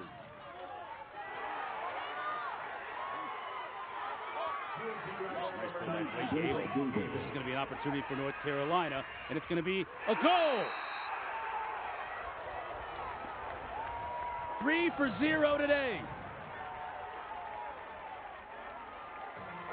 and off of a blown opportunity from Rutgers to get the ball on their offensive set. And Chris Gray, he might be quiet, but he delivers this goal because of his unselfish offensive awareness. Give, go, right back to him. A lot of times when an attackman catches the ball where Gray was, they're thinking shot, right, Chris? The defense shifts to him in one motion, hits Tillman on the left side with a better shooting opportunity. But middle of the field play. As much as Eugenio has been a force at the X, Carolina is winning the middle of the field. Four goals off of failed clears today, Clark, for North Carolina. It's the exact opposite of- last week for Rutgers, right? Rutgers last week, to Eugenio wasn't winning faceoffs, but they were perfect in the clearing game. They were almost perfect in the middle of the field. And this week, it's the opposite. They're winning faceoffs, but they're losing that game in the middle of the field. It's, it's unbelievable. And that's why I think it's so important for people not to have like over assumptions regarding the face offense, right? There's, there's so many other aspects of the game that, that are critical, right? It's it's one fourth of like the specialty game with the man up and the man down is one, and, and the clearing and the riding and the face off play, right? And then you throw in goals, which is which which are complete outliers in big games. You, you can't put too much stock into just saying, okay, they have the better face-off guy, you know, they're going to get more possessions. No, there's other ways to manufacture possessions, and Carolina's doing it riding. Charalambides. Trying to make space for himself. Now Knobloch on the shorty.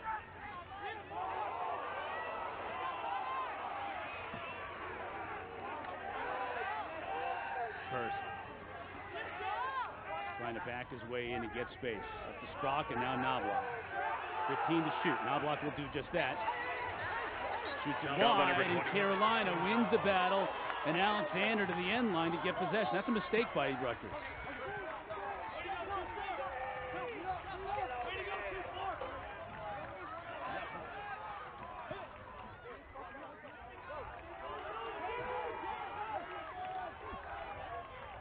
Seven minutes to go. One goal game. Rutgers trying to spring the upset. Go to their first ever championship weekend.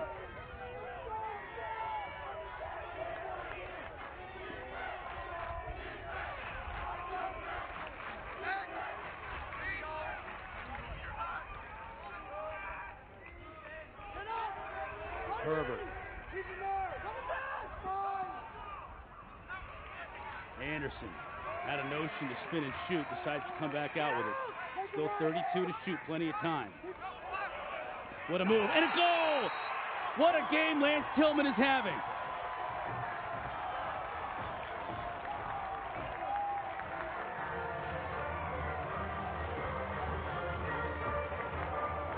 You just feel feel it with Ross Scott from Rutgers. You feel it with Lance Tillman.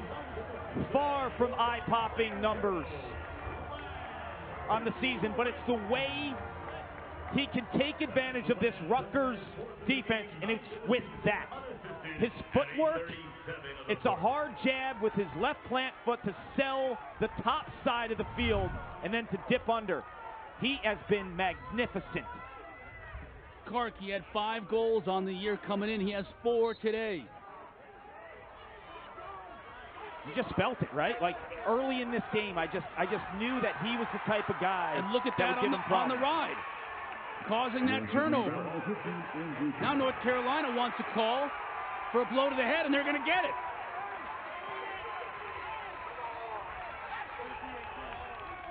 Tillman gets possession for Carolina. We're going to get a slashing call, most likely against Rutgers.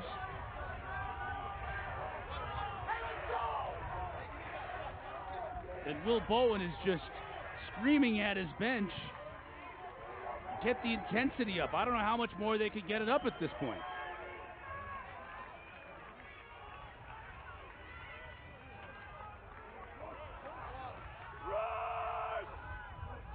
Perry, he'll shoot. Kirst is there though. Now we'll get the official's call. That's Perry's spot. Three and white. You give him time. The officials right now are talking about it. We'll get the call momentarily.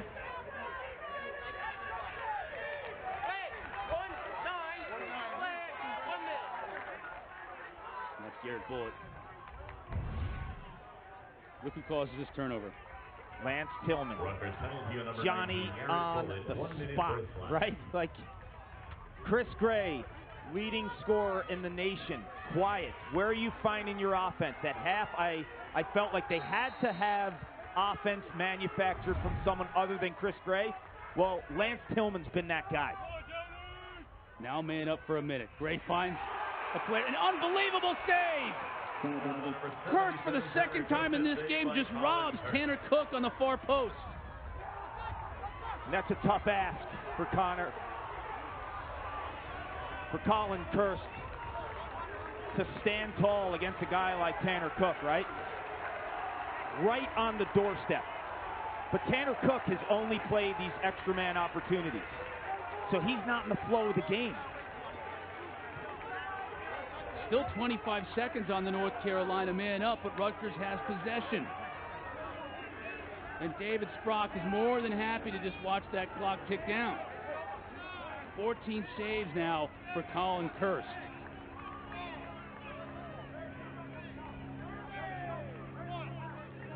Teams are even. Full strength as we see this save.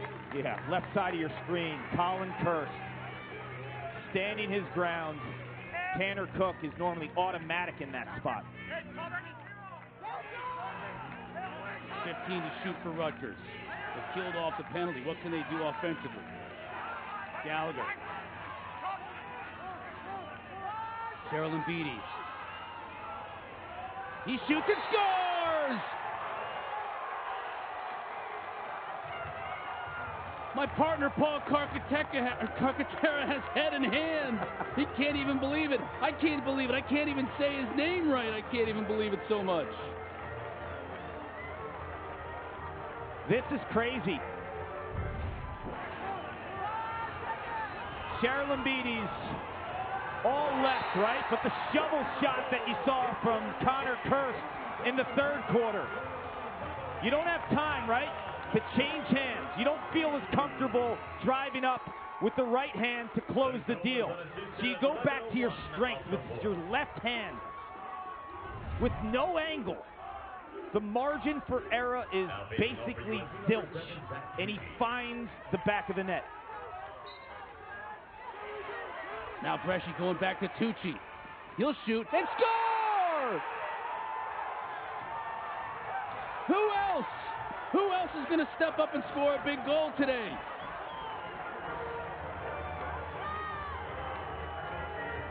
And Tucci runs right back to the faceoff bench and says, "Bring it on!" I want another one. Make it take it. Zach Tucci. The only thing on the ground that has beaten Colin Kirst today are high bouncers. That's it. We saw McCarthy in the first quarter use the turf. He is so good low, but when you bounce the ball high, he gets to his natural attack spot in terms of gobbling it up low, and the ball goes top shelf for Tucci. Five seconds in between goals. We're knotted once again. Inside of four to go. Tucci wins another one. This time he says I'm getting it to Chris Gray. But how about Tucci, right? Wins that face-off, scores, and sprints back to the dot, right?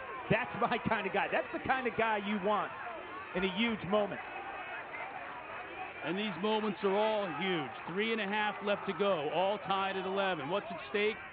A trip to championship weekend. Anderson has his pass deflected and broken up by Kamish. Now a ground ball. Chris Gray is there to pick it up. UNC ground ball number four, Chris Gray.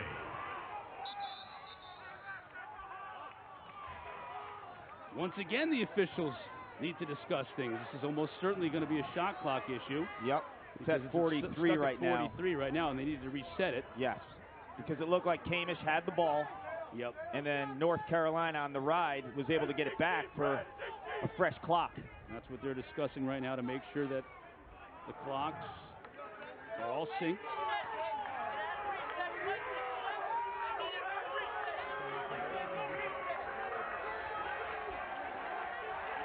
But it shouldn't be at 80, though, because Gray had the ball for a few seconds. Yeah, probably should be more around 75.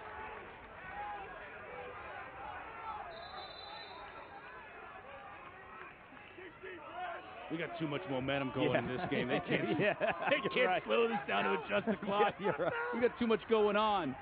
Anderson spins back to his right through traffic. He goes down. Now we'll get a call. I can't believe we got a call on that.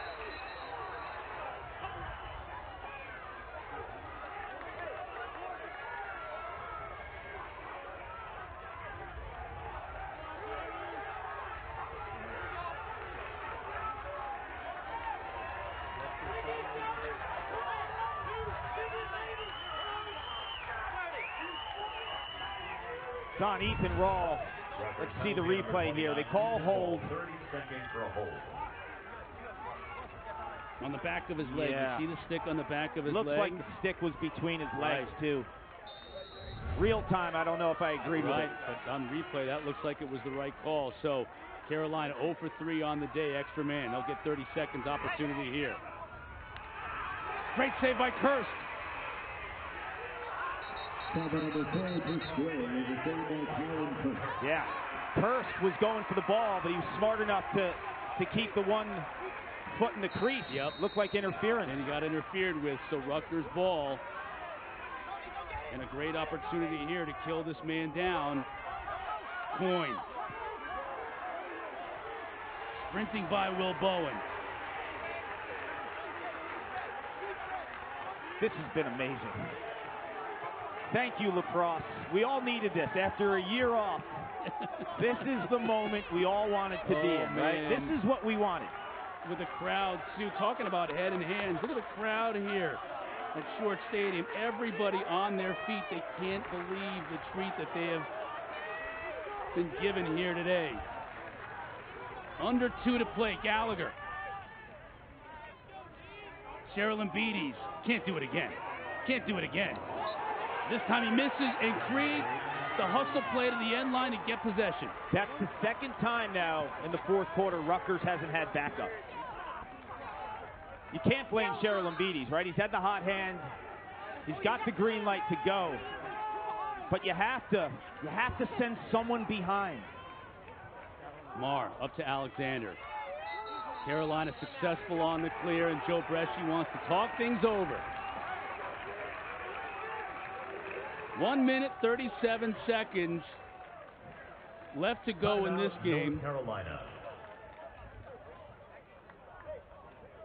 Let's look at the brackets. This is what we'll find out in the next minute 37, maybe, as we're all tied at 11. Virginia sailed by their quarterfinal matchup against Georgetown earlier today. So the Wahoos are watching this one, and I'm sure they can't believe their eyes like the rest of us. North Carolina and Rutgers. The winner of this one goes to play Virginia. Tomorrow, Q and Anish. They're up in South Bend. They've got Maryland and Notre Dame. You kidding me with that one? The first game is going to be Duke and Loyola.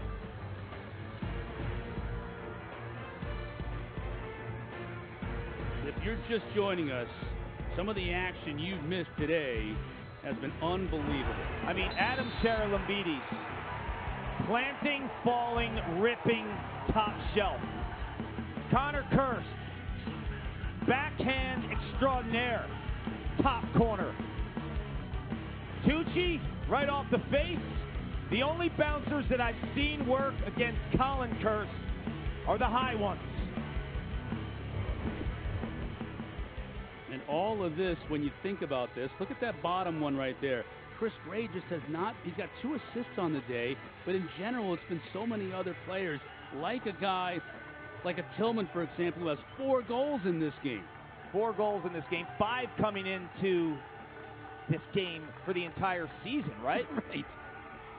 I, I think UNC, you start with a guy like Tillman, right? Well, Tillman has the pole now. So Anderson has a pole. Will Perry has a short stick.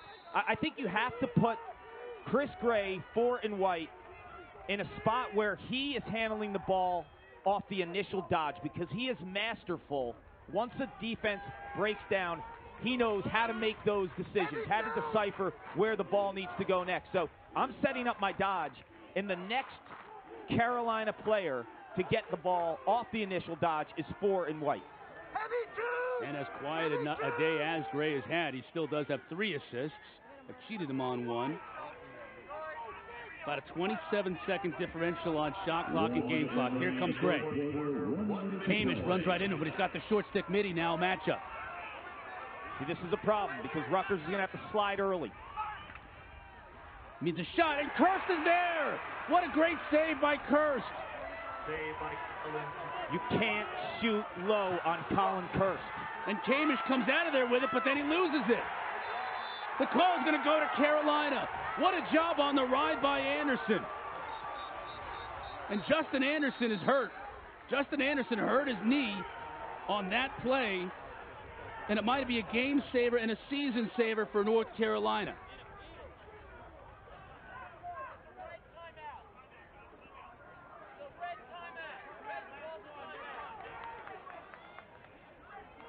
Brian Brecht is going to call a timeout during this situation to talk things over with his team as we're going to get the North Carolina staff to go over and take a look at Justin Anderson.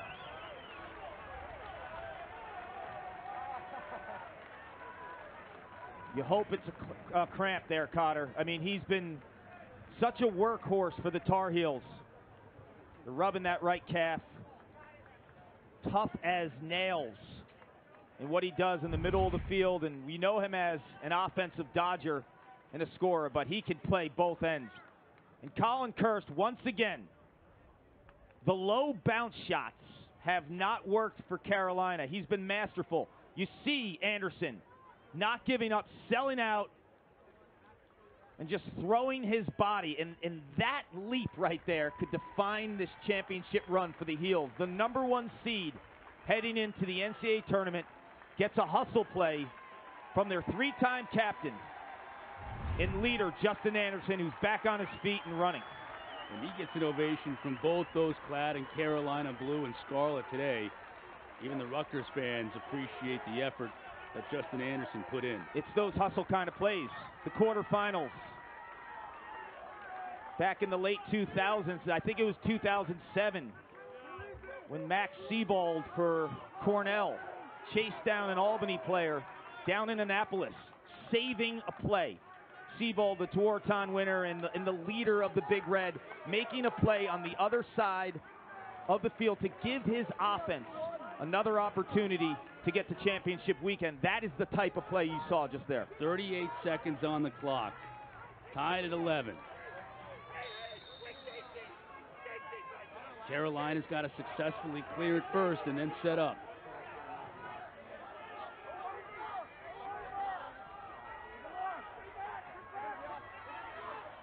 Bowen. Ahead to Connor Marr. Now the timeout, as you would suspect, by Coach Breschi. Timeout. 19.8 left to go.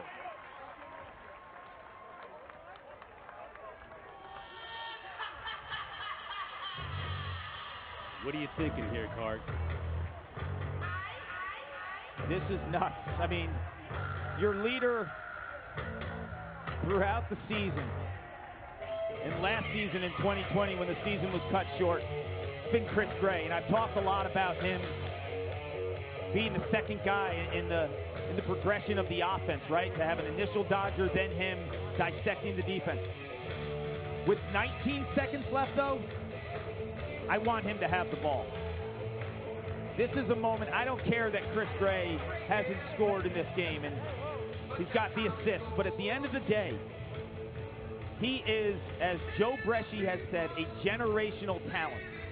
So with 19 seconds left in a quarterfinal matchup to head back to championship weekend, first time since 2016, you have to put the ball in Chris Gray's stick. If there was like 30 to 45 seconds left, I might let it fester a little Marinate bit more. little yes, bit, yes. marinate, exactly. With 19 seconds, I'm not getting cute. Right. It's like Jimmy Chitwood in Hoosiers. you you don't use him as the decoy. I'll make it, coach. Get the ball to Jimmy Chitwood. You get the ball to Chris Gray.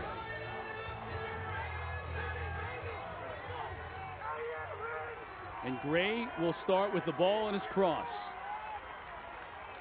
Checked by Bobby Russo. When he transferred from Boston University, he came to Carolina for this moment. Gray back to his left, to the middle of the field. Russo all over him. Tillman, six seconds. Tillman's gonna have to go on the go to the cage, trying to find Chris Gray, dodging, can't, and he can't get a shot off. That Rutgers defense steps up. We're going to overtime. They never even got a shot off. Carolina 11. In the open, I mentioned, could Rutgers defense hold up? Well, the answer is yes. They've been incredible because Carolina is known for a team to move the ball in hyperspeed. And Rutgers defensively, in terms of their assignments, and the five other defenders not on the ball have been in sync. Take a deep breath, everybody. We've got overtime lacrosse, the winner to championship weekend when we come back. Rutgers 11. We head to overtime. Here are the rules in overtime. Sudden victory. That's the most important rule of all of them. First ball to go into the net, we're going to see a massive celebration regardless of who scores four minute periods until one of these two teams scores. We get a two minute intermission in between each period, and you do get a timeout each period, which is important. Yeah, I'm good with all these rules except for the last one. I think momentum wise and just the the build up. Sometimes the the timeout is anticlimactic. Rutgers has done more than hold their own at the face-off X. They've won a higher percentage. Eugenio has been outstanding, but it's been a little bit of a flip from what happened with Rutgers last week. They haven't been as strong on some of the ground balls or turning those possessions into scoring opportunities. North Carolina gets the first possession of this overtime period. And there's the timeout from Joe Breschi. Timeout, North Carolina.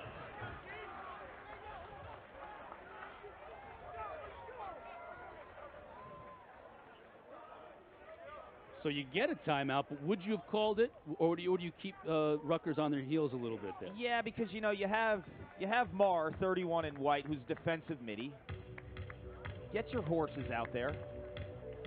Get your matchups. Get into your six-on-six set. I mean, that that's where Carolina is just magical, right? They've been magical all season long. They don't need to run up and down the field to to put up But if 18 you, goals. But here's the thing: if you have four minutes, what you can do that on your substitution anyways. You could save the timeout in case you really need it in a desperate situation. I, I understand where you're coming from, but you, you can ta never take a timeout to the bus, right? Okay. You never take a timeout to the bus with you. So if you have it, you might never get the ball again. That's the way I look at it. And there Ground is ball Matt by Wright. Matt yep. Wright. Yeah. Yeah, Matt Wright is, has been a force for Carolina all season long. Tucci's come up huge in terms of winning the initial draw. And Matt Wright, 20 in white, is a fearless competitor. Guy in between the lines that if you watch Carolina all season long, he's always where the ball is. Okay, so Breschi called a timeout at the end of regulation, started the ball in number four's stick, didn't even get a shot on goal. Let's see if it ends up being a little bit differently this time around. Well, it's a little different now where you, you don't have to go right away with Ford, Yep. White, and Gray. You, you can get into your flow offensively. And this is why they're starting Yep. them off ball, right? Yes. Whereas with 19 seconds left in the fourth quarter, it's, it's go time. Lance Tillman, four goals today for number zero. And Chris Gray. On Russo. Russo just goes right through that pick from Herbert. That was a big time collision. Russo is on Kamish, so you're going to have to slide to him, and they do. Anderson working on Raw.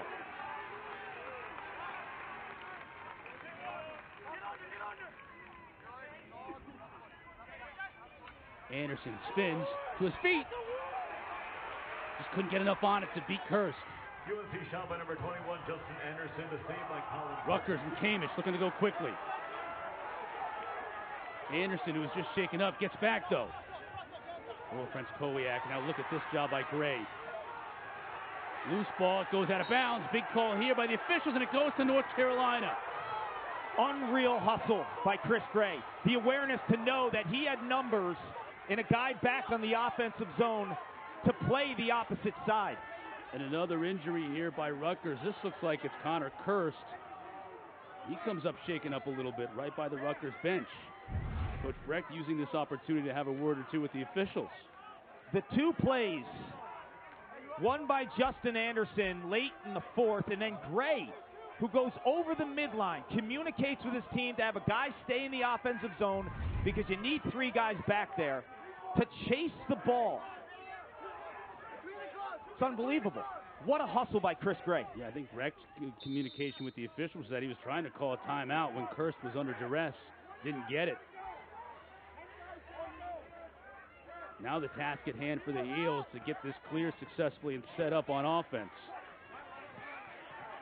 Connor does that.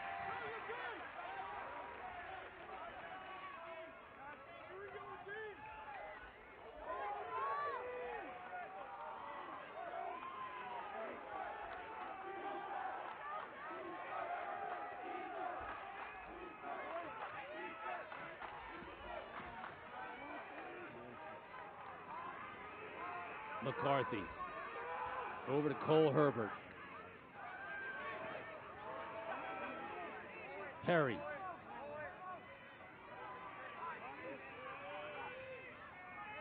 Gray inside. Shot. Oh, boy. Nicky Solomon. When Gray has the ball, like mid dodge, his ability to feed is, is off the charts, right? Like it's fraction of a second. He's speed ready. Now Tillman. Look at the speed.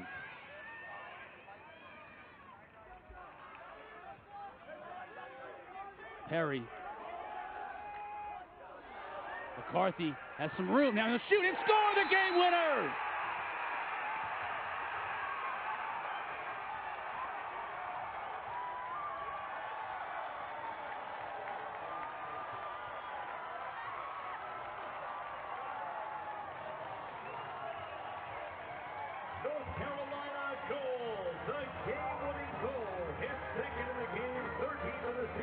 Right there gave his heart and his soul to Rutgers lacrosse in 2021. And his play is the reason they were in this moment. Colin Kirst was spectacular. Nothing he could have done on that McCarthy game winner.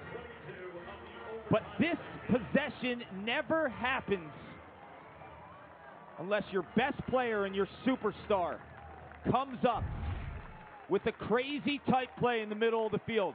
Chris Gray goes over the midline and makes not one, but two huge checks, which allows the Heels offense to get a look from the fifth year grad transfer from Princeton.